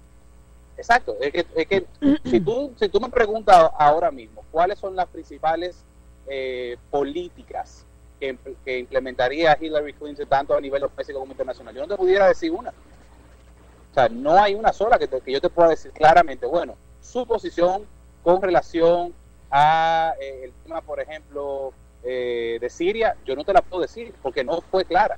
Entonces permitió que él la sacara, desde mi perspectiva, la sacara de balance y aunque en varias ocasiones ella intentaba, eh, ¿verdad?, retomar el mensaje, yo creo que no ha sido efectiva comunicando. Eh, por su parte, Trump se pudiera decir hasta cierto punto que, no quiero decir que ganó el debate, porque para mí, al igual que en la primera ocasión, perdieron los dos, pero pienso que al menos le está hablando a esa base que él le habla y que, y que lo- está cautiva porque él habla así y se identifican con él. ¿Nos escuchas, José? Sí, sí. te Sí, escucho. que, que- muy bien. Las de los candidatos que han estado de que la mayoría de las autoridades del Partido Republicano eh, que han estado desmontándose de la campaña de, de Donald Trump es por razones de preservar por- porque aparte de la candidatura presidencial ellos mismos muchos son candidatos a senadores y a gobernadores. Tú piensas que tiene que ver un poco distanciarse para ellos por lo menos no perder eh, sus espacios eh, en, el, en el Senado y en las gobernaciones. Claro, eh, lo que decía ahorita, es una manera de preservar sus liderazgos. Eh, de hecho, el propio Partido Republicano, hace apenas eh, quizás mes y medio o dos meses, tomó la decisión de redireccionar una buena parte del, del financiamiento del partido a esas posiciones locales que ellos entendían que, que podían ganar con mayor, con, con mayor facilidad para evitar perder la mayoría que ellos tienen ahora mismo en ambas, en ambas casas, tan- tanto en el Senado eh, como en la Cámara Baja. Entonces, ya el propio partido ha entendido eh, que Donald Trump es hasta cierto punto una causa perdida, si se, si se quiere decir así, y ha tratado de, pre- de preservar esos liderazgos locales eh, de manera que el partido pierda el menos espacio posible. Pero se sigue viendo en las encuestas que toda la parte céntrica eh, no ha variado significativamente. O sea, el- No, la- claro, los estados, eh, eh, a diferencia todo de lo que pudiéramos, todo, todo- el centro eh, eh, y esa, no ha habido un cambio eh, significativo, aunque a nivel de votos eh, de, de colegios, de, de- que son los que eligen al final, eh, se, se ve la diferencia en las encuestas en términos de la, de la colocación de los estados. eh, sigue, sigue, sigue, se sigue manteniendo. ¿Cómo te explicas eso? Mira, lo que pasa es que como yo te decía ahorita, hay una base eh, fuerte a la cual Trump le habla, que se siente identificada con Trump, yo siempre lo digo, me parecería casi un mantra, pero yo siempre digo, el, detalle del política norteamericana es el nivel de fragmentación que tiene. Entonces, no necesariamente eh, un candidato que le hable a, a todo lo que es el Northeast, la, la costa noroeste, Nueva York, Boston, eh, etcétera, es el mismo candidato que le habla al Midwest o al Mid-East, eh, Iowa, Wyoming, etcétera. O sea, son, son estados totalmente distintos eh, y la verdad es que él tiene su público. Mira, yo te voy a poner un ejemplo muy sencillo. Yo estoy ahora mismo en, en Miami, estoy de tránsito a- hacia Trinidad y Tobago y tomé un taxi eh, para almorzar y el taxista yo le pregunté y me decía, no, yo, yo prefiero un auto como Trump que una mentirosa como Hillary. Y estoy hablando de un cubano americano eh, que se ve que no tiene tampoco mucho tiempo que vive en Estados Unidos. Me dice, no, hombre, yo no soy ciudadano, yo no puedo votar, yo soy residente. Pero de yo votar, yo preferiría votar por un loco como Trump, que por lo menos me dice las cosas como son, a una mentirosa como Hillary. Dos cosas, José. Primero, eh, es un hecho que hay posibilidades para que Donald Trump sea presidente. De ser así, ¿tú entiendes que él Claro. abandonaría esta táctica y se regiría por el librito del establishment? Bueno, mira, eh, yo pienso que evidentemente la, las realidades cambian cuando tú eres presidente y cuando tú eres candidato. Eh, evidentemente que hay una, una, una serie de obligaciones y de responsabilidades que vienen con el cargo eh, que le obligarían a él a asumir posiciones que quizás él en este momento se da el lujo de no asumir. Pero no, no deja de preocupar el hecho de que estamos ante una persona totalmente megalo- me- megalómana, una persona eh, irascible, que es fácil de sacar de sus casillas, eh, que tiene una capacidad, de, yo te diría hasta de análisis limitada. O sea, es preocupante, es preocupante como, y es, es un punto que yo siempre, siempre digo que le compro a, a la, a la campaña de Hillary, que es que realmente queremos un tipo con esta capacidad, o sea, e- e- este- esta mecha corta, como diríamos República Dominicana, al mando de los códigos nucleares. Eh, eh, es un tema difícil. Y usando las mismas palabras del taxista que te que te llevó a almorzar mientras tú esperas por tu tránsito, ¿no será que la gente está tan harta del político simulador, que es una cosa en campaña y otra en gobierno, que prefiere lanzarse al vacío con un loco como Trump que seguir escuchando las mentiras de un sistema? O sea, ¿no es eso Sí. como una llamada de atención a la política convencional de que ya el, el votante está harto del mismo esquema? Sí, e- es uno de los elementos que eh, en, en los estudios El de desgaste del sistema Claro, partidario también ha llegado a Estados Unidos. Claro, no, y, so- y sobre todo lo que decías, es decir, Trump representa a, a una franja de la población que no se siente representado por un político tradicional. Sí, estamos hablando de que eh, una buena parte de, los ciudadanos de los Estados Unidos no, ni siquiera está registrado para votar. Decir, el, el- el- el- en general, en promedio, el, el americano promedio es apático al político precisamente porque no se siente representado. Hay una crisis de la representación. Entonces, cuando tú tienes, como dice, como dice el taxista, un loco que, bueno, que es un loco, pero que por lo menos me dice las cosas como son. Eh, un poco se, se, se- que se parece un poco eh, a lo que vivimos, por ejemplo, con el liderazgo eh, de Hipólito Mejía, eh, que era un liderazgo totalmente atípico, pero que había mucha gente que se, se- se sentía representada por él, independientemente de, lo, de lo racional o no que fueran sus propuestas. José, pues muchísimas gracias por darnos tu análisis eh, sobre... Queda uno, falta un debate. Sí, falta todavía un... falta todavía ¿Cuándo un es el debate. próximo? Eh, creo que es en unas dos semanas, es en la, en, en la Universidad Uy, de pero Vegas, ese ya en la recta final, final. Sí, es prácticamente la recta final. Se va a celebrar en, en la Universidad de, de Nevada, en Las Vegas. Eh, y bueno, igual, eh, eh, hay que ver, no creo que vaya a variar mucho. Honestamente, mi- mis expectativas era que después del desastre del primer debate y viendo el cambio de tónica que, que vimos en el, debate vicepresidencial, honestamente yo esperaba otro nivel. O sea, yo esperaba que, evidentemente, se sabía que todo el tema este del- del- de las conversaciones de Trump iba a salir a relucir, pero honestamente yo no esperaba que durara media hora hablando de los correos, de los Ay, por Dios. del, del- de los tax returns de Trump. Eh, o sea, de verdad, Sí. honestamente, yo pensaba Fue reiterativo. que, que iban que iban a, a- a- a variar un poco la tónica. Así que para el tercer debate yo no esperaría eh, mucho más. No creo que Trump haya sumado mucho más votos con este debate, pero pienso que por lo menos mantiene, eh, mantiene su base de apoyo. Eh, luego del debate anterior, eh, la diferencia, el- el gap se amplió un poquito. Eh, creo que Hillary aumentó en unos tres puntos porcentuales aproximadamente.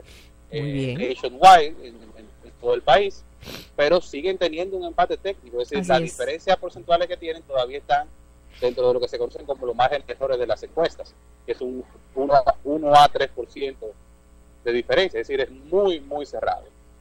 José, muchísimas gracias. eh, que sea tra- tu tránsito sea lo menos pesado posible y te esperamos Gracias, pronto ¿no? de regreso por aquí por República Dominicana. Ustedes lo acaban de hacer más divertido ahora. Ay, qué bueno. Que tengas un buen viaje, José. Bueno, gracias a ustedes. Orange presentó Fuera del patio. Fuera del patio.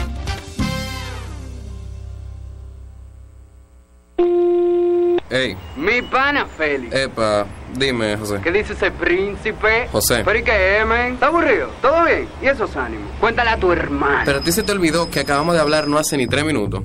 Entiéndelo. Es que las llamadas le salen a mitad de precio en su prepago Orange al activar un paquetico de 7 días de 500 megabytes de internet o más.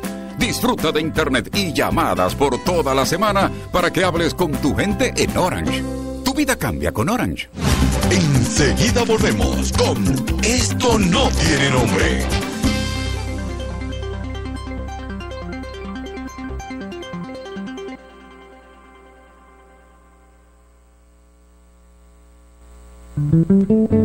A las 3 cada tarde, Merian Fernández y sus invitados comparten contigo experiencias, emociones y conocimientos. All we need is love, porque el dinero cambia las cosas, el amor cambia la vida.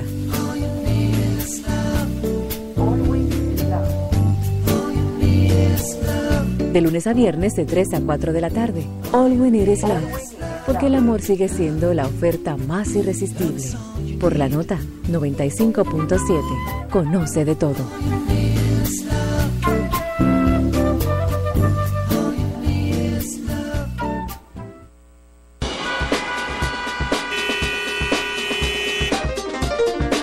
Esto no tiene nombre. Si eres amante del deporte y necesitas un espacio donde tu voz se manifieste, Filiberto Fernández, Natacha Peña y Pedro Ramírez te presentan cada tarde La Barra Brava, el concepto para los amantes del deporte. Fútbol, béisbol, baloncesto y todo lo concerniente al mundo deportivo lo encuentras en La Barra Brava. De lunes a viernes a las 4 de la tarde por La Nota 95.7. Conoce de todo.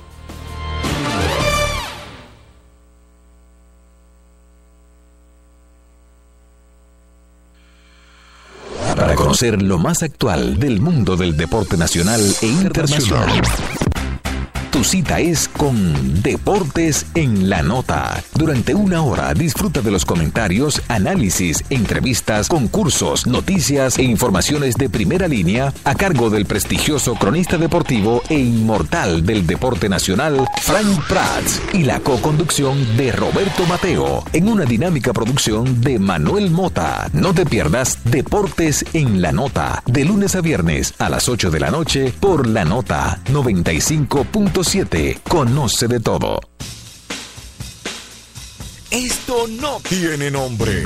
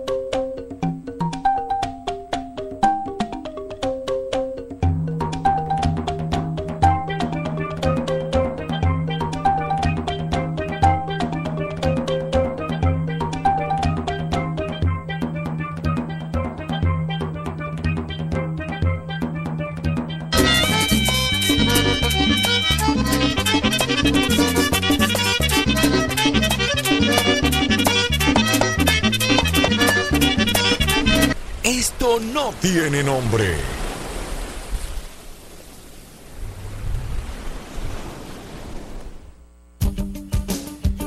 En la nota, Susana Flete y Danira Caminero te informan sin medias tintas ni trasfondos en apuntes, periodismo directo y sin censura. Análisis de las principales noticias, entrevistas, espectáculos, cultura y mucho más.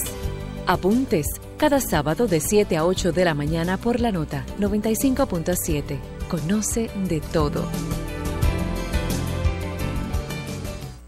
Los sábados, a partir de las 8 de la mañana, un equipo de veteranos periodistas hablan a la franca para que inicies el sábado con las principales informaciones, entrevistas de sumo interés, con informaciones de buena fuente. Nelson Marrero, Raiza Félix y Germán Marte. Ellos te hablan a, a la franca, de 8 a 10 de la mañana por la nota. Conoce de todo. Dafne Guzmán te espera cada sábado con un contenido fresco y de interés para ti. De calle con la nota, de 12 del mediodía a 2 de la tarde. Este y todos los sábados, escúchalo por la nota 95.7. Conoce de todo. Esto no tiene nombre.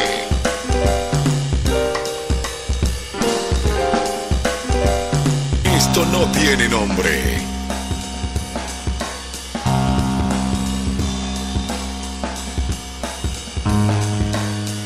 Esto no tiene nombre. Esto no tiene nombre.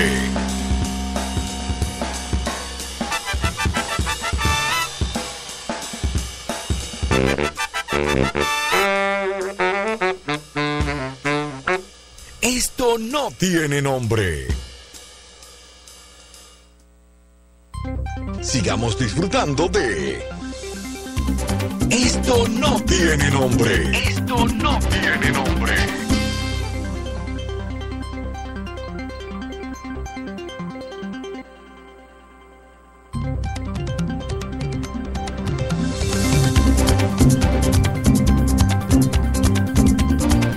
Ayuntamiento del Distrito Nacional anunció hoy la puesta en marcha del proyecto Santo Domingo Iluminado con una inversión de 40 millones de pesos que eran invertidos anteriormente en el proyecto Brillante Navidad. El alcalde del Distrito Nacional, David Collado, dijo que el proyecto es para dotar de alumbrado los barrios de la capital. Inmediatamente la noticia se convirtió en la tendencia número uno en las redes.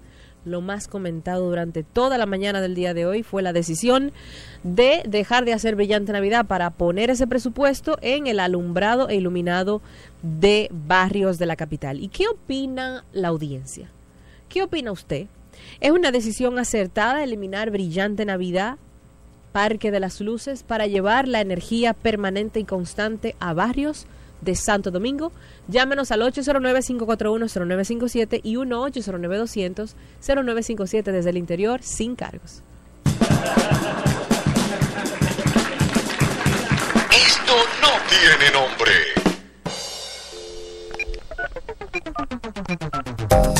Cavada, sí, tú sí eres un hombre tonto. Es verdad. Aló, buenas tardes. Roberto, hay algo que me preocupa. Cuidado. No, eso no, esto es algo que no tiene nombre. Ya que la justicia no actúa, vamos a formar un comando de la resistencia para acabar con la corrupción y fusilar a esa gente. ¡Ey, ey! 809-541-0957 y sin cargos 1-809-200-0957. Esto no tiene nombre.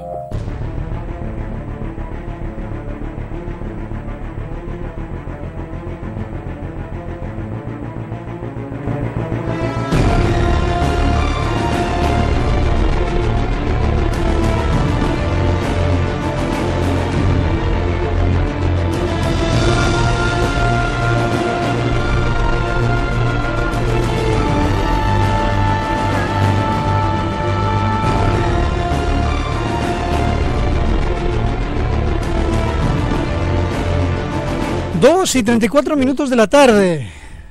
Adelante. Sí, eso es correcto. Ojalá hagan así con todas las cosas mal hechas que hay en este país. Muchas gracias. Buenas tardes. O sea que Brillante Navidad era una cuestión que estaba mal hecha. Mira, hay diferentes opiniones a través de las redes, de, por supuesto, muchísimos medios se han hecho eco de esta noticia. Eh, hay personas que dicen, como por ejemplo el señor Nelson Encarnación, eh, dice que calificar brillante Navidad de gasto es no tener una pi idea de lo social, que es increíble. Otra persona pone a través de las redes, bueno, David Collado, te apoyo con lo de brillante Navidad, pero los bombillitos de King Kong, pónselo, los extraño. Yo tengo mi opinión particular. Adelante. No, eh, no sé, mmm, creo que hay eh, muchas cosas en las que invertir el dinero del ayuntamiento, es verdad. Eh, hay barrios sin luz, hay gente con cierto tipo de necesidades, pero yo creo que una de las necesidades más importantes que tiene que suplir el ayuntamiento también es el lugar de esparcimiento y el esparcimiento sano. Entonces, eh, creo que cualquier inversión que haga el ayuntamiento en ese aspecto no es un dinero tirado. Lo que yo creo que hay que poner en un balance cuánto invertir algún tipo de no, se van a gastar en bombillitos en los dos lados ¿eh? Para que no, porque lo que estamos diciendo que se va a gastar en bombillitos en bombillo vez, o sea, igualito esto, uno era en bombillos en, en, el parque iberoamericano. Por un periodo determinado por un, por un, periodo determinado y lo otro va a ser en un periodo determinado porque los bombillitos no lo van a dejar el año entero. O sea lo que pude leer de la nota es que van a llevarse a bombillitos de navidad pero en los barrios.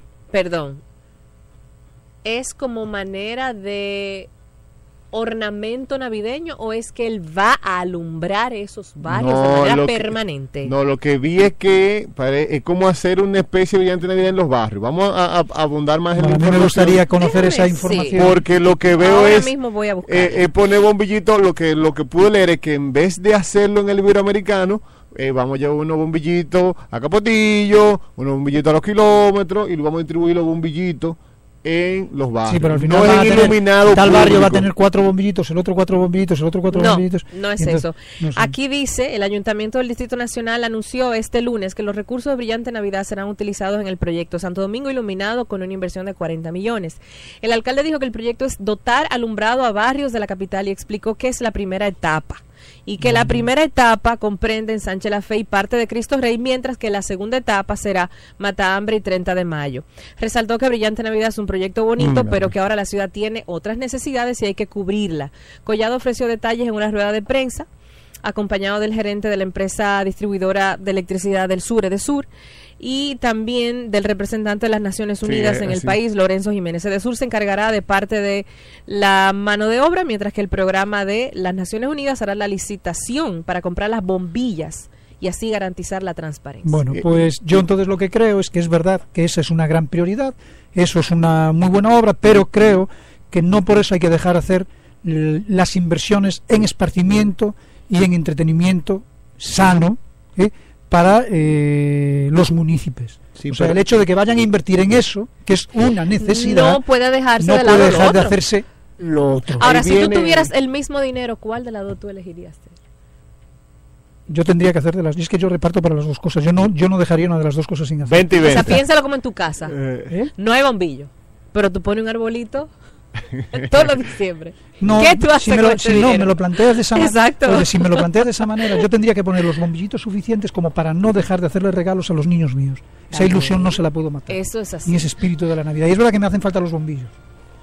Creo, o sea, vamos a ver, Sí, no digo entiendo. que no sea necesario establecer las prioridades y que una gran prioridad es dotarle de alumbrado público a todos los barrios. Estoy O de acuerdo es con eso. Señor, lo Ni claro es que David está haciendo su tarea y Sí. está tratando de ejercer su gestión Está a través de la tarea. diferenciación. Está haciendo Tú su hiciste tarea. esto, Eso es verdad. tú hiciste Ok, tú pero entonces me, tiene, me tendría que contestar la otra pregunta. ¿Qué va a hacer? No, pero te estoy diciendo su estrategia. O sea, tu estrategia es, mira, tú ponías bombillito en el iberoamericano, pero yo llevo eh, lámparas a los barrios. Está bien. Ese Me- es me- el mensaje. Oye, Eh, mira, genial. lo que- que- Me parece muy bien, está bien, pero eso no es nada esto. Lo que está, yo le puedo ver otra lectura que es más preocupante quizá, porque esa es una obligación de él, ¿eh? darle los bombillos a, a la gente. Eso no es no es ningún favor que nos está haciendo cogiendo el dinero del, del Parque de las Luces para meterlo ahí. Eso no es ningún favor, esa es la obligación. Ahora yo te pregunto a ti, ¿qué le va a dar, qué le va a dar a los municipios, qué le va a dar a los municipios de este de este ayuntamiento en Navidad?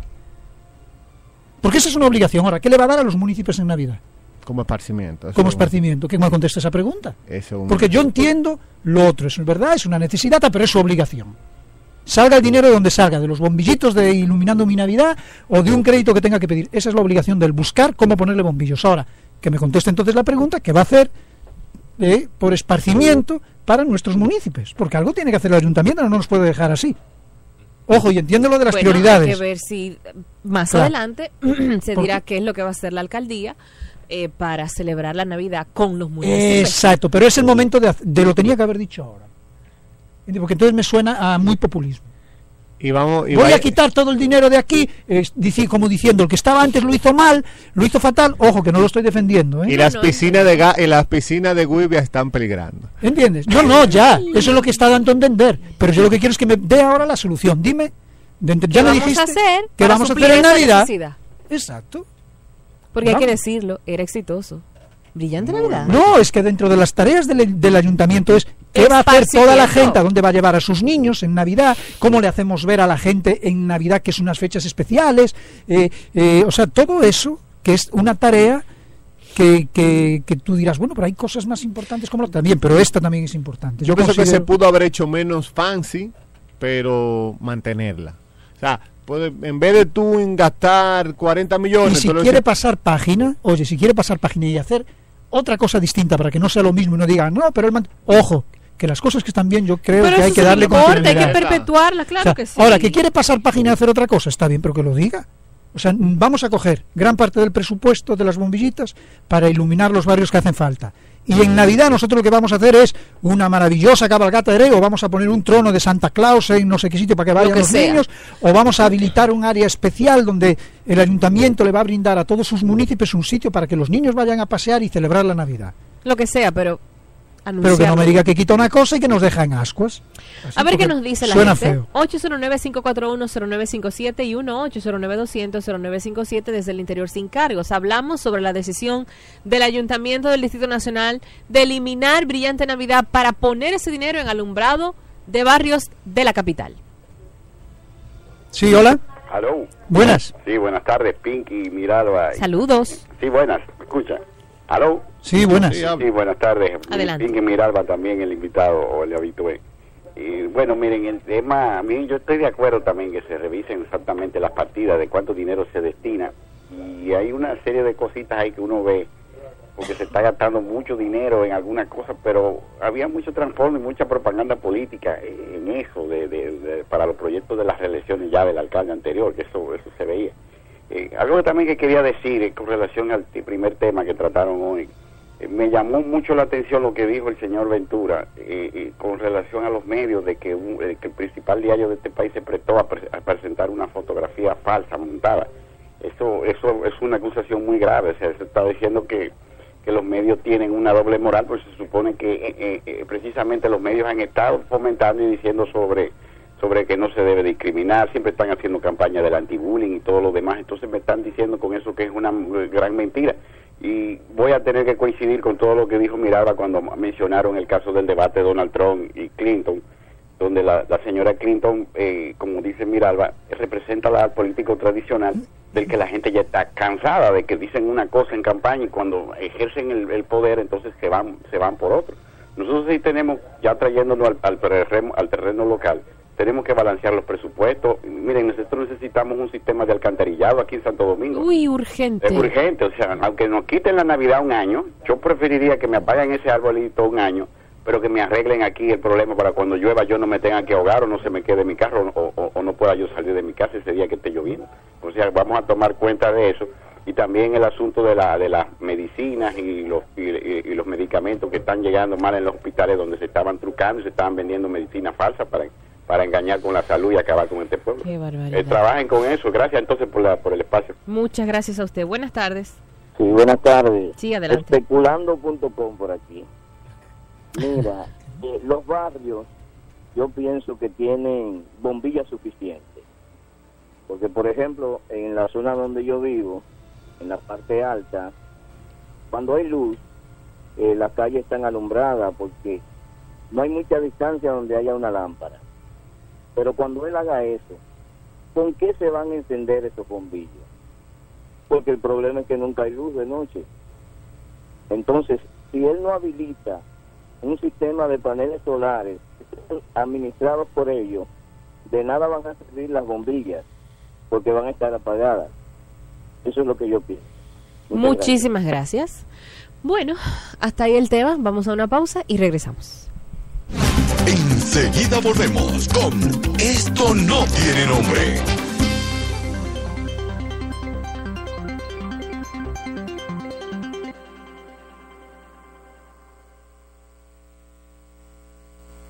Llenos de orgullo y alegría, nuestro trabajo es día a día, lo que entregamos a la isla. Todos los días entregamos conciencia, deporte, cultura, futuro y lo mejor de nosotros al mundo.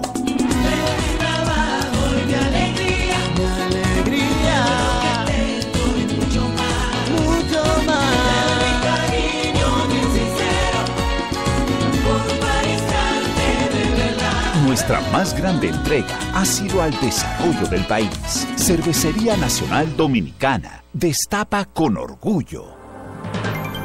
Porque la información es poder. De lunes a viernes, de 6 a 7 de la mañana, inicia la jornada con una descripción certera y responsable de lo que ocurre en el país y el resto del mundo. En la República. Radio para ciudadanía consciente, crítica y transformadora. Con Carlos Pimentel, Milicen Uribe y Jonathan Liriano.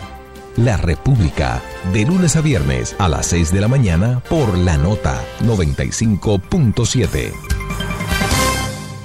Esto no tiene nombre. Puig manifestó su rechazo a que utilicen los fondos de pensiones para financiar eh, la planta de Punta Catalina y el que le contestó fue el hombre de la fuerza eh, nacional progresista, eh, don Vinicio Castillo, diciéndole que, bueno, que eso era una de las opciones que había para poder financiar eso. Yo sé que una inversión en una planta eléctrica de estas características debe de ser una buena inversión. Ahora se debe de hacer con el fondo de pensiones. No hay otro tipo de inversiones, de inversionistas, de fórmula financiera, sin que se tenga que tocar nuestro dinero. Buena. Buenas, dígame. Eh, habla para uno de los guarícanos. Sí, que se invierta de otro, de otro sistema, porque eso va a generar lo que es un escándalo. Y además de eso, la gente siempre, eh, sie- siempre tiene temor y que mejor que acuda a otro mecanismo. Le habla el licenciado Rafael Hurtado Ruiz. A ustedes están sustrayendo algo que no es, que es ajeno, es suyo. Y usted tiene entonces derecho a la legítima defensa. Esto no tiene nombre. La vida cotidiana y las tareas domésticas nos unen a todos con un nuevo título, gerentes del hogar. Eso con limón y bicarbonato tiene. Padres e hijos tienen ese reto. Las tareas del hogar hay que simplificarlas. De lunes a viernes te invitamos a compartir con Nereida Castillo, Javier Noguera, Virginia Pérez y un panel de expertos los temas que te ayudan a hacer más simple tu día a día. Cocina simple, consejos y vida familiar en La Vida Simple Radio. De lunes a viernes de 10 a 11 de la mañana. Por la nota 95.7. Conoce de todo.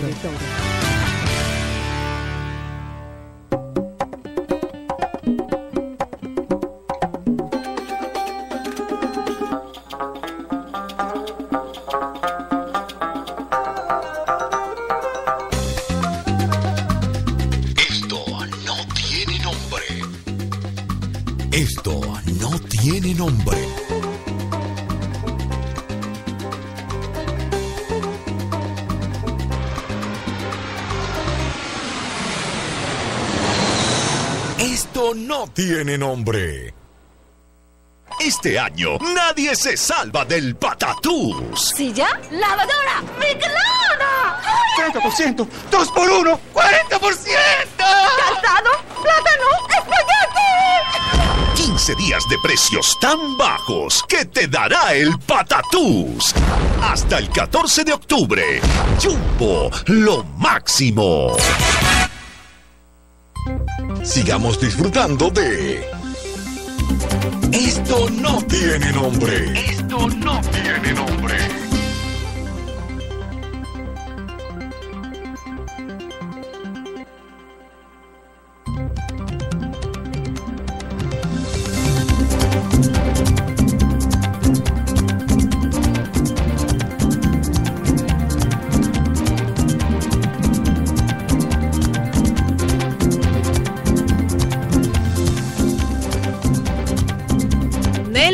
Stapleton.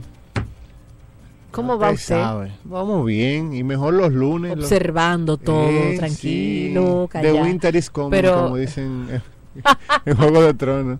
The winter is coming. The winter is coming. Ya viene Y- el invierno. Y ya viene el invierno y las cosas ya han tomando eh, su lugar. Revise su, su agenda del año, qué cumplió, qué no cumplió, qué se le dio, qué no se le dio. Es verdad. Eh, y lo que usted pueda hacer.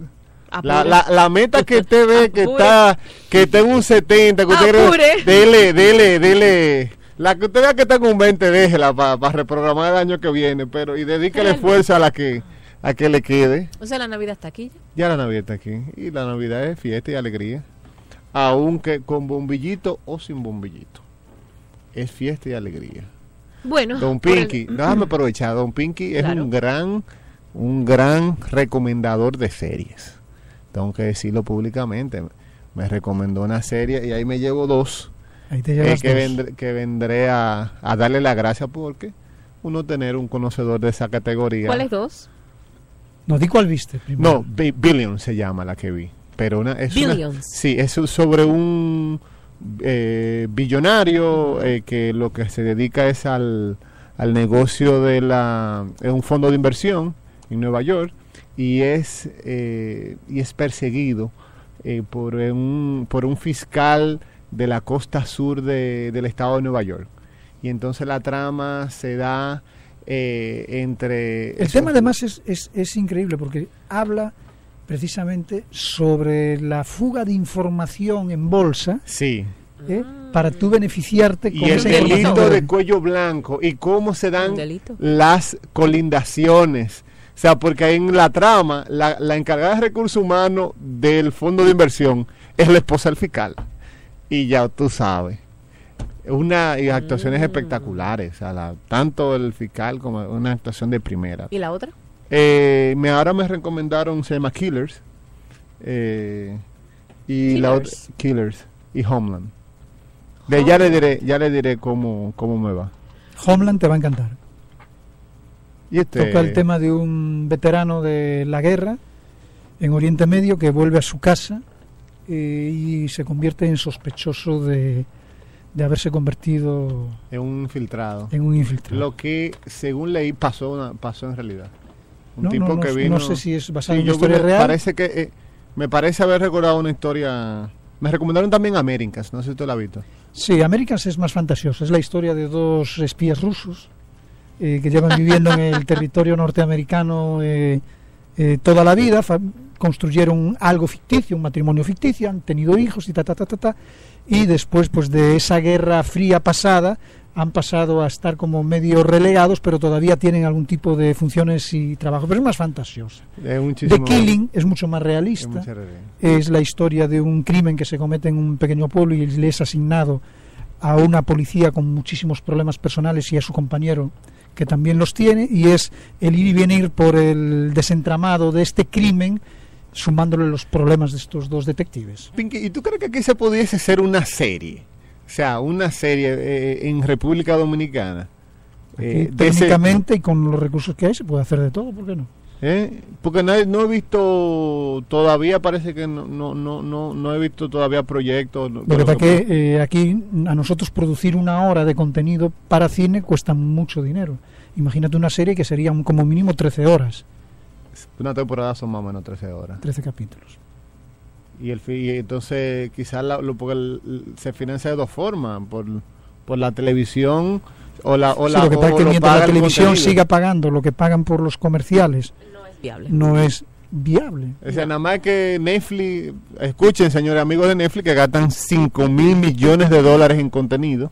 Eso, Es que el contenido es el rey. el, el 5 mil millones de dólares anualmente Pero ellos que si tú- gastan es que si en contenido propio. eh, Exacto, pero fíjate contenido. por qué te tienen Pero te atrapado a- con 8 dólares, Claro. nada más, te tienen atrapado a esos 5 mil y pico de millones de contenido que están invirtiendo. ¿Entiendes? Ellos saben en lo que están invirtiendo. Deben, deben- contenido. Deberíamos dar una tarjetita de Pinky para que una, una, una serie de... ¿Viste el artículo que te envié de Netflix? Ajá, ¿Lo leíste? sí, ¿Qué te pareció? interesantísimo. ¿Para allá es que vamos? Yo creo. Uy. Señores, Esto ha sido- sí, mire, señor, muchísimas gracias por haber acompañado en este programa. Nos vemos mañana y en mi caso, nos vemos el lunes que viene en, en otra entrega más de esto que no tiene nombre. Esto no tiene nombre.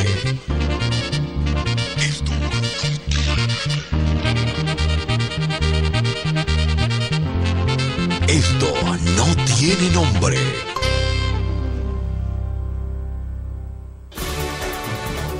Ahora la nota entra en contacto con CNN en español para enterarnos de los hechos más importantes del mundo.